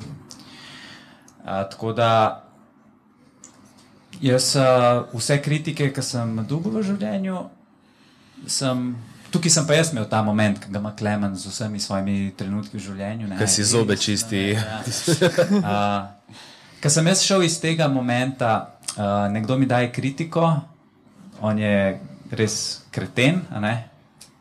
Ko sem zamenjal ploščo, mogoče ta kritika jo moram resno imeti. Takrat se je vse spremenilo. Hitreje sem uh, napredoval v svoji karieri, izboljšal sem odnose s temi ljudmi. Um, je pa to sigurno neka sposobnost, eh, ki jo moraš um, trenirati. Tako da um, sem imel pa tudi v svojih ekipah ljudi, ki so bili ja, tihi, pa ne vem, tako kot si jih tiho označil za rastline. Sam to, to ni, a je, a je to isto po tvoji definiciji? Verjetno je lahko nekdo tih, ampak še vedno dela stvari, ni pasiven. Um, stvar je v tem, ja, da pač lahko si tih, ampak poveš eh, takrat, ko je zapovedati stvar. To niso rastline. Rastline so tisti, ki pač uh, povejo stvari še lepo, ko se zaključi, ko se nekaj Vse naredi. sem ti rekel. Ja. Ja. Ja, tako da komunikacija. Mm. Meni je transakcijska analiza ful pomagala, ne da sem jaz kdaj bil na transakcijski analizi, ampak je. sem Kako hitro si mogel to uh, skomunicirati? Se upravičujem. Ja, ja, ja. Ej, ne, ne, no, jaz, jaz nisem bil na. No, vse, vse, sam opazil sem, opaska. Še kaj? Ne, to je to. Če bo, Sem ti dal še ej, prostor, samo če bo, bom še uskočil. Um, to vsem priporočam, ne, da si, pogled, da si vzamejo knjigo Transakcijska analiza, ker vsaka človeška komunikacija je transakcija. In tam sem tudi pri sebi mogoče najdel neke vzorce, ki sem jih imel, in uh, to mi je pomagalo v poslovnem in privatnem življenju. Tako da vse to, kar ti govoriš, je neko polje komunikacije. Ne. Mm. Mogoče si ti tisti, ki ne zna teh ljudi, ki so tiho ali pa se ne aktivirajo, jih ne znaš aktivirati. Ne. A Veš, tako, mislim, to je ima velik, to je zelo tako. Niti ne, ne poznamo zdaj konteksta, je to Ja, v ja, nekem ja. poslovnem ali nekem privatnem. tako da. Ne, to se mi zdi, komunikacija je vedno pač tak uh, konkreten izziv na vseh področjih. a ne. Uh, in mislim, sploh uh, poslovno se mi zdi, da je res specifična stvar in pač uh, market, uh, marketinška komunikacija in uh, komunikacija, ne vem, že sam s partnerji je čist drugačna. a ne. Ja. Tako da, True. ja. Še ti, Klemen, kaj? Um, ne, se sta super povzela. Jaz bi sam rekel, da uh, transakcijska analiza kul, cool, imam pa eno bolj simpel uh, področje, oziroma ena knjiga je, um, ki je meni spremenila life, ko sem bil mlajši in to sem se zdaj spomnil, ker, ker sem pred parimi dnevi razmišljal o tem. How to win friends and influence people, Dale Carnegie.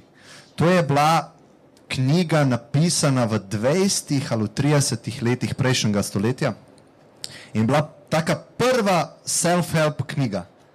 Prva knjiga, ki zdaj tako po- po- poplava tega, kako sebe izboljšati. In to je bila prva, ki je začrtala v bistvu to pot. Ne. In jaz sem se tam v bistvu naučil ali pa dubo ene koncepte, ki so neprecenljivi v lifeu. Ne.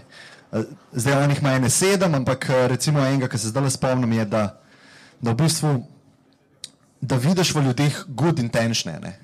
da v bistvu s tem štartaš v odnos, a ne? da nisi v tej energiji pomankanja, ampak da si energiji obilja. ne? In da ne gledaš na ljudi, k- da ti nekaj hočejo vzeti, ampak oni ti bojo nekaj dal. Ne?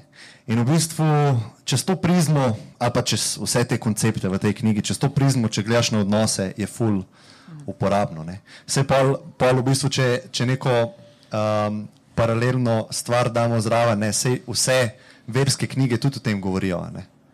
Um, da si, da si v bistvu, uh, kako že, da je vsak, da, da, da v bistvu vsak človek si ti, ne. In da v bistvu, če tako živiš, je pa boljša. ne. Da ima Tudi- vsak nekaj dobrega, vse pa ne. Ja, mislim, eni nimajo, ampak nimajo po svoji krivdi.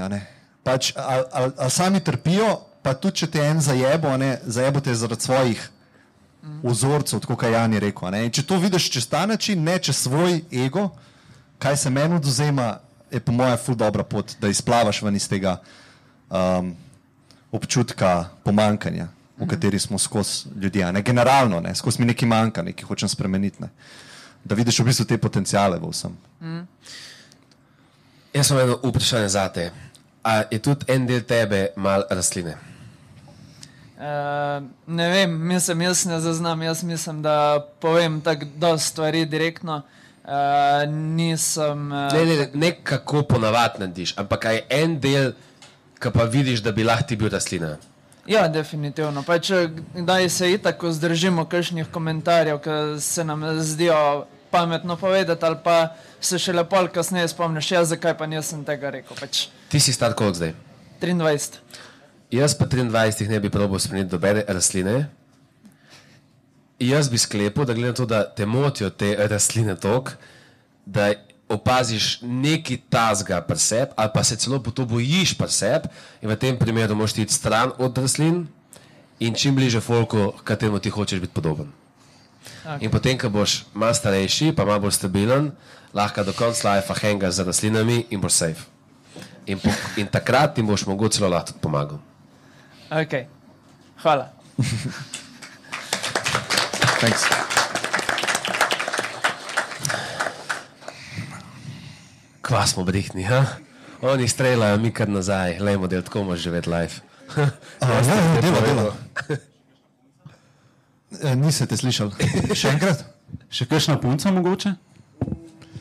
Ja, vidiš. Ne? No, dobro je to challenge, zato ker mi ima, imamo doskrat iz, iz uh, strani nežnejšega spola um, kontra, kao, da manjka ena uh, ženska, ki bi znala kontra nam povedati. In pravimo, ja, dej pa dejte. No in zdaj imate priložnost, da slišimo, kaj je kontra, ker tudi mene zanima. Ajde. Dobre, to bomo verjetno dolgo čakali. Lahko tudi vsak, a veš, kaj prvo smo bili tako, naj kdorkoli pride. Zdaj smo že kao, ne, zdaj bomo mi izbrali, naj pride točno ta oseba. Uh, ne, kul cool, se je. Uh, Dokdaj smo mi danes mislili biti? Ajde, dej, ustrel. Ampak zdaj za na konec mora biti. Ne, se jaz bi se malo navezal to, kar si ti tudi govoril. Um, ti si bolj tako lasnosti, recimo, ki bi jih drug od drugega vzel. Mene pa zanima, um, kje lasnosti vi mislite, da ste tako od staršev dobre lasnosti, da ste se jih naučili ali pa podedva, podedvali. Um, pa me pa zanima, če ostali, da vidimo, kako se bo povezval s tem, kar recimo, um, kar ste, kar sta vidva recimo za njega rekla nekaj, a ne? da vidimo, če Jani, če ti to vidiš, da si to od staršev podedval, ali je to od nekje druge pošlo. To me je v bistvu zanimalo. Pa pa mogoče še nekaj drugega. Najprej pa to. Cool. Ime? Uh, Mitja. Mitja, ok, thanks, Mitja. E, e, A, a to je zdaj kao game, dva poveta za. Ne, ne, ti zase. Zase poveš, pa, pa da vidim, vse bomo videli. a Ne? Ja, dej ta vidva začeti. Jaz ne. Um, za lastno, jaz bi, jaz bi bolj to tako obrnil. Men, jaz sem full hvaležen, uh, se moja mama je tukaj danes. E, a lahko en aplauz za mami, največjo fenico. Ha? Ampak, ampak, uh, mama, nekaj me zanima. A ste tudi vi opazili, kdaj da Klemen pusti svoje hlače v ozadju, da visijo za mojim hrbtom? Ker moja mat je sam to opazila, da je Klemen ni pospravil kavbojk. A ste tudi vi to opazili? Aha, vi poslušate, pa se je luštan ta vrsin. Ne, ne to, da bi ga gledali. Bož da ne, ker te kao, kavbojke so moje mamam zelo moteče. Dejte, dejte, kdaj pogledate. Zdaj bo pa gledala, ker se je videla v živo. Um, v bistvu bolj ta prostor, ki si mi omogočila, ne, da sem lahko. Um, recimo že to, ne, če, če si predstavljate, da pride 14-leten sin do vas, pa reče: Jaz bom delal v nočnem lokalu. Ne. Tako dost, dost mam si predstavljam, da bi ne bi bila všeč ta ideja, ali pa celo preprečili bi, da se to zgodi. Um, ona je pač takrat mi zaupala, oziroma ne vem, kaj je zaupala, ne? ampak take stvari so se konstantno dogajale um, tekom mojega življenja. Ne? In tako da, a veš, brez teh izkušenj, sploh taka je bila neka začetna z delom, z socialnimi stiki, ki ti moraš v bistvu biti s pijanimi ljudmi obkrožen skozi. Pri toliko mladih letih, a veš, nekaj ti dajo, ne? pa nek zagon ti dajo, pa samo zavesti dajo. ne. Torej, če bi me kle omejevala, bi bilo drugače, ne vem kako bi bilo, ampak zato sem full hvaležen. a ne. V bistvu, da je pustila prostor, da so se te lastnosti, ki so mi všeč pri sebi, sploh lahko izoblikovale, ne? da se je bolj odmaknila na stran, takrat, ko je bilo treba. a ne. Tako da to bi rekel. Hvala. Kaj sem jaz podedoval? Um, najbolj sem v bistvu. Lahko je tudi slaba lastnost. Pa ti gre na živce. Ah, Ja, to je včasih še lažje najti. Ja. Ne, ne. Um, zelo podoben kot Klemen. Um, ni me mama nikjer uh, omejevala, se pravi, ona je vedno rekla: ti že veš, kaj delaš. Ne? Tako da nekako mi je dala neko prosto pot, da jaz uh, dobim svoje izkušnje in uh, prevzamem odgovornost. Mm. Ker mislim, da velikrat te starši te probejo omejiti, ker probejo biti odgovorni zate. Sam ti moraš sam svojo, ti si moraš zgraditi svoj vrednostni sistem v, uh, vrednot pa odgovornosti. Sej neke vrednote ti dobiš, ne, ampak to je pač samo nek del. In v bistvu najbolj sem hvaležen za to, da verjeten je to vplivalo na to, da um, nisem imel nobenega posebnega pritiska s strani staršev, sploh. Um, in na kar sem v bistvu najbolj ponosen pri sebi, je to, da nimam nekega sramu, pa da me skoraj nič ne more užaliti.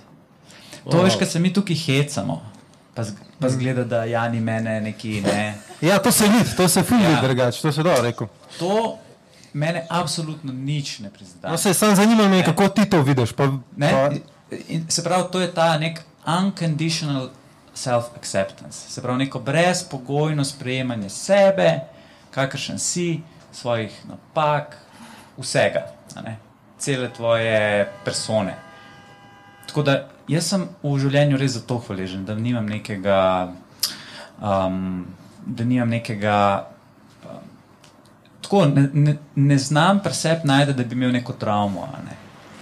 Neko travmo v smislu svojega uh, nekega počutja ali pa neke samozavesti.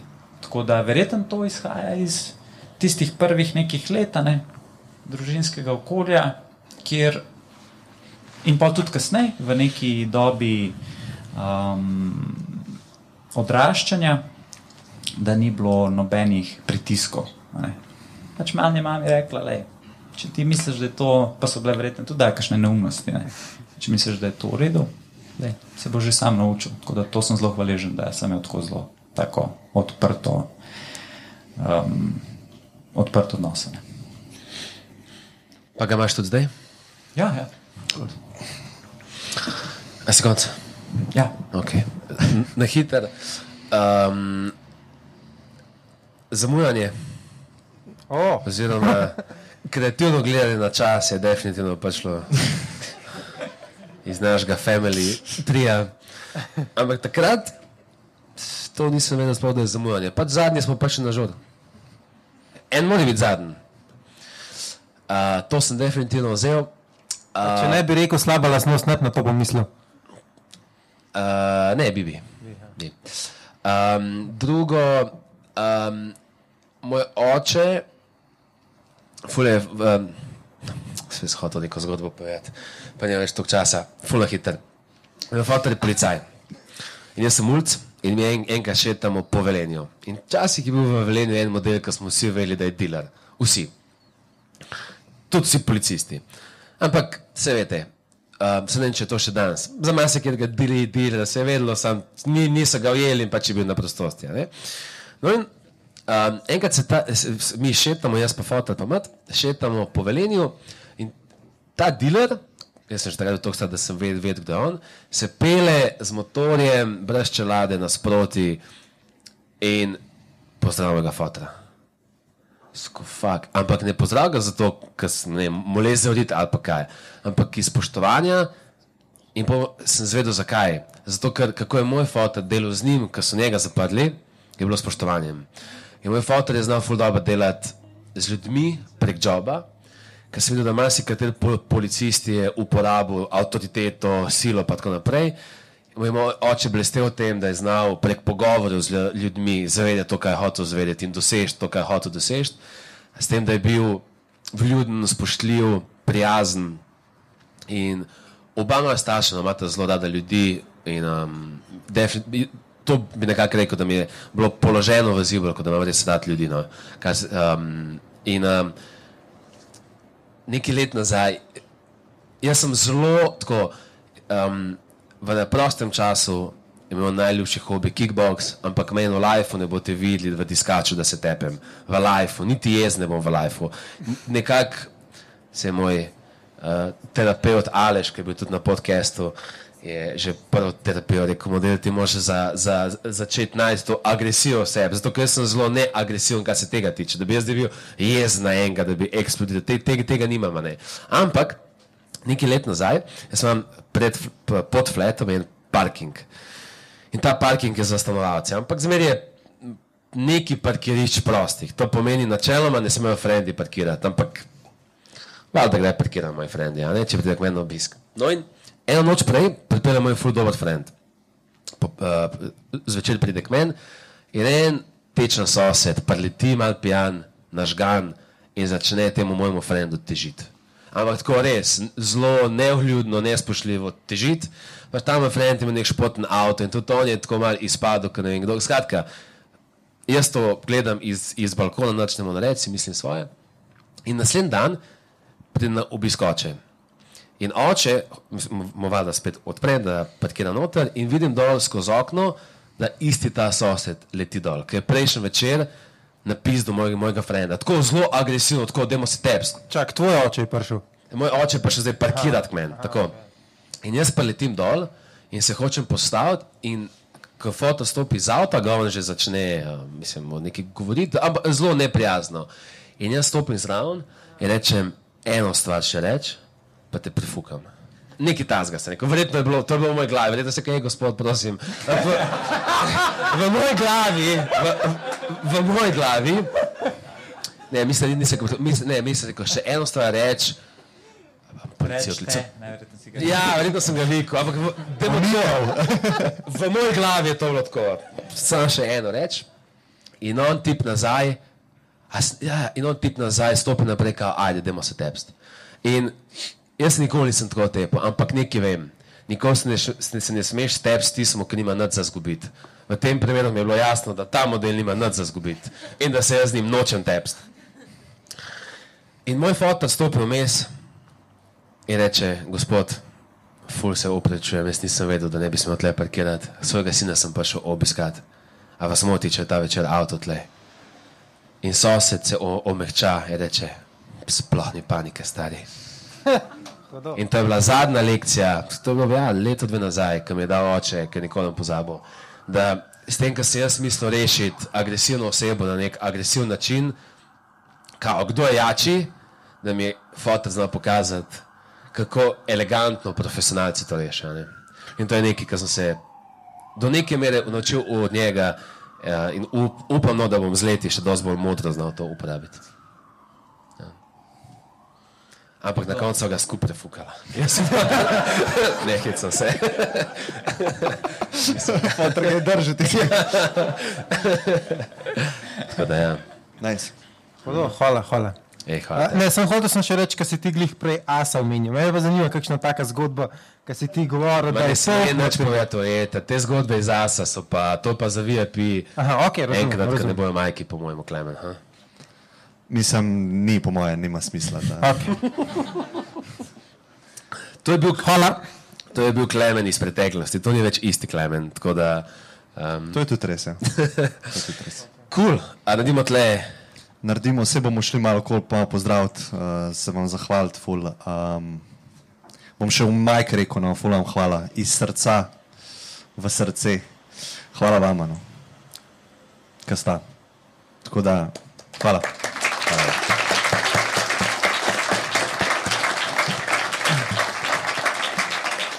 Mi vsi smo danes hoteli tako dati maks od, od sebe, predvsem zato, ker vem. Um, Mislim, zihar je tle en študent, ki je dal 10 evrov in, in je to bilo njegovih zadnjih 10 evrov, ki jih je imel ta mesec. Tako da, če komu nismo um, deliverali s tem joki, s temi pogovori, s temi nasveti, uh, ne pisati hate komentarjev, pridite pa vam vrnemo ta keš. Uh, Kad do Selakoviča. Ali pa tudi, če ste dobili, pa hočete keš nazaj, da ga v telah zapil, kad do Selakoviča, Prav, pa bo vrnil keš. bomo afriškim otrokom vzeli.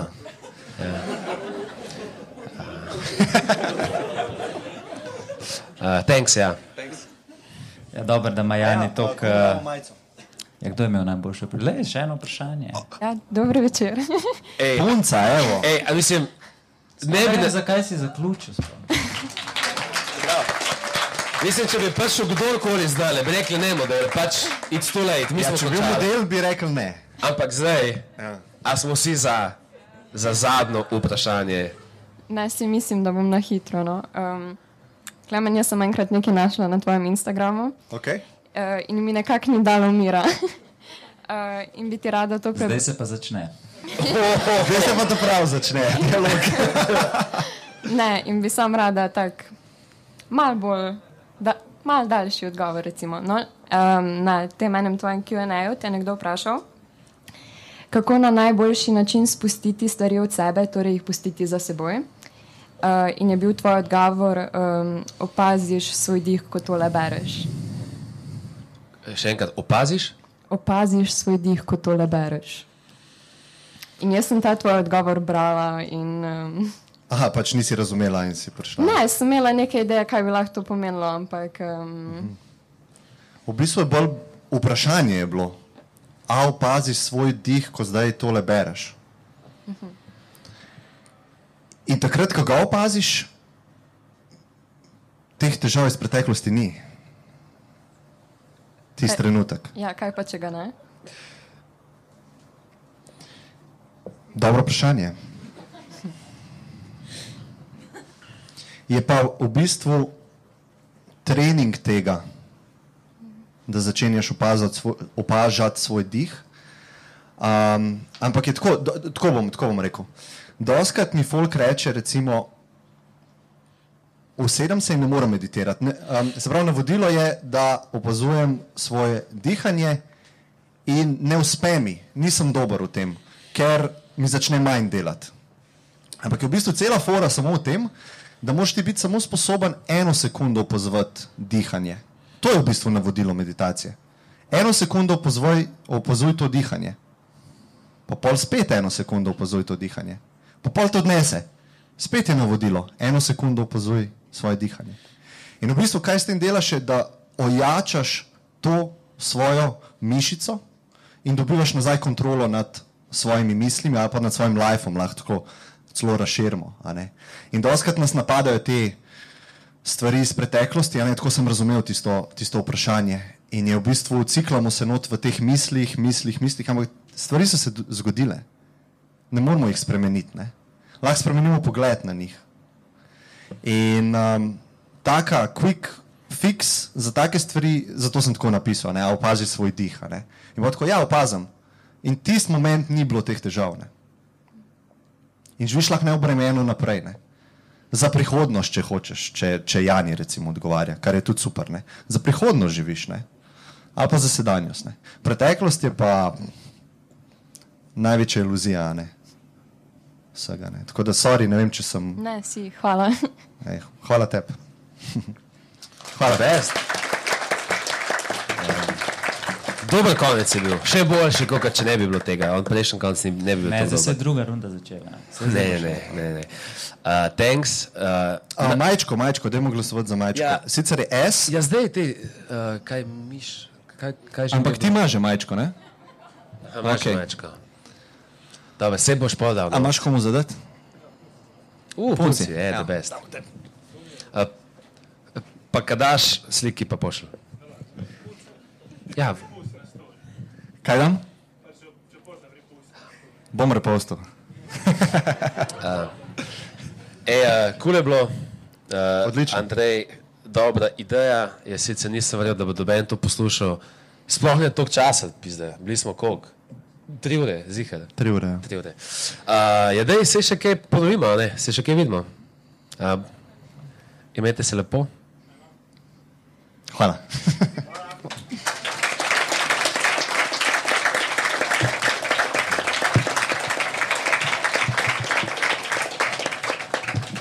Zdaj se pa majki izklopijo, zdaj pa. Ja, zdaj pa muska, DJ.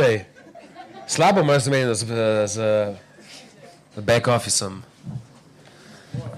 To je zdaj okvat, ko si v, v tišini čakamo nekaj. Ja, daj ti, interveni, se imaš še majk.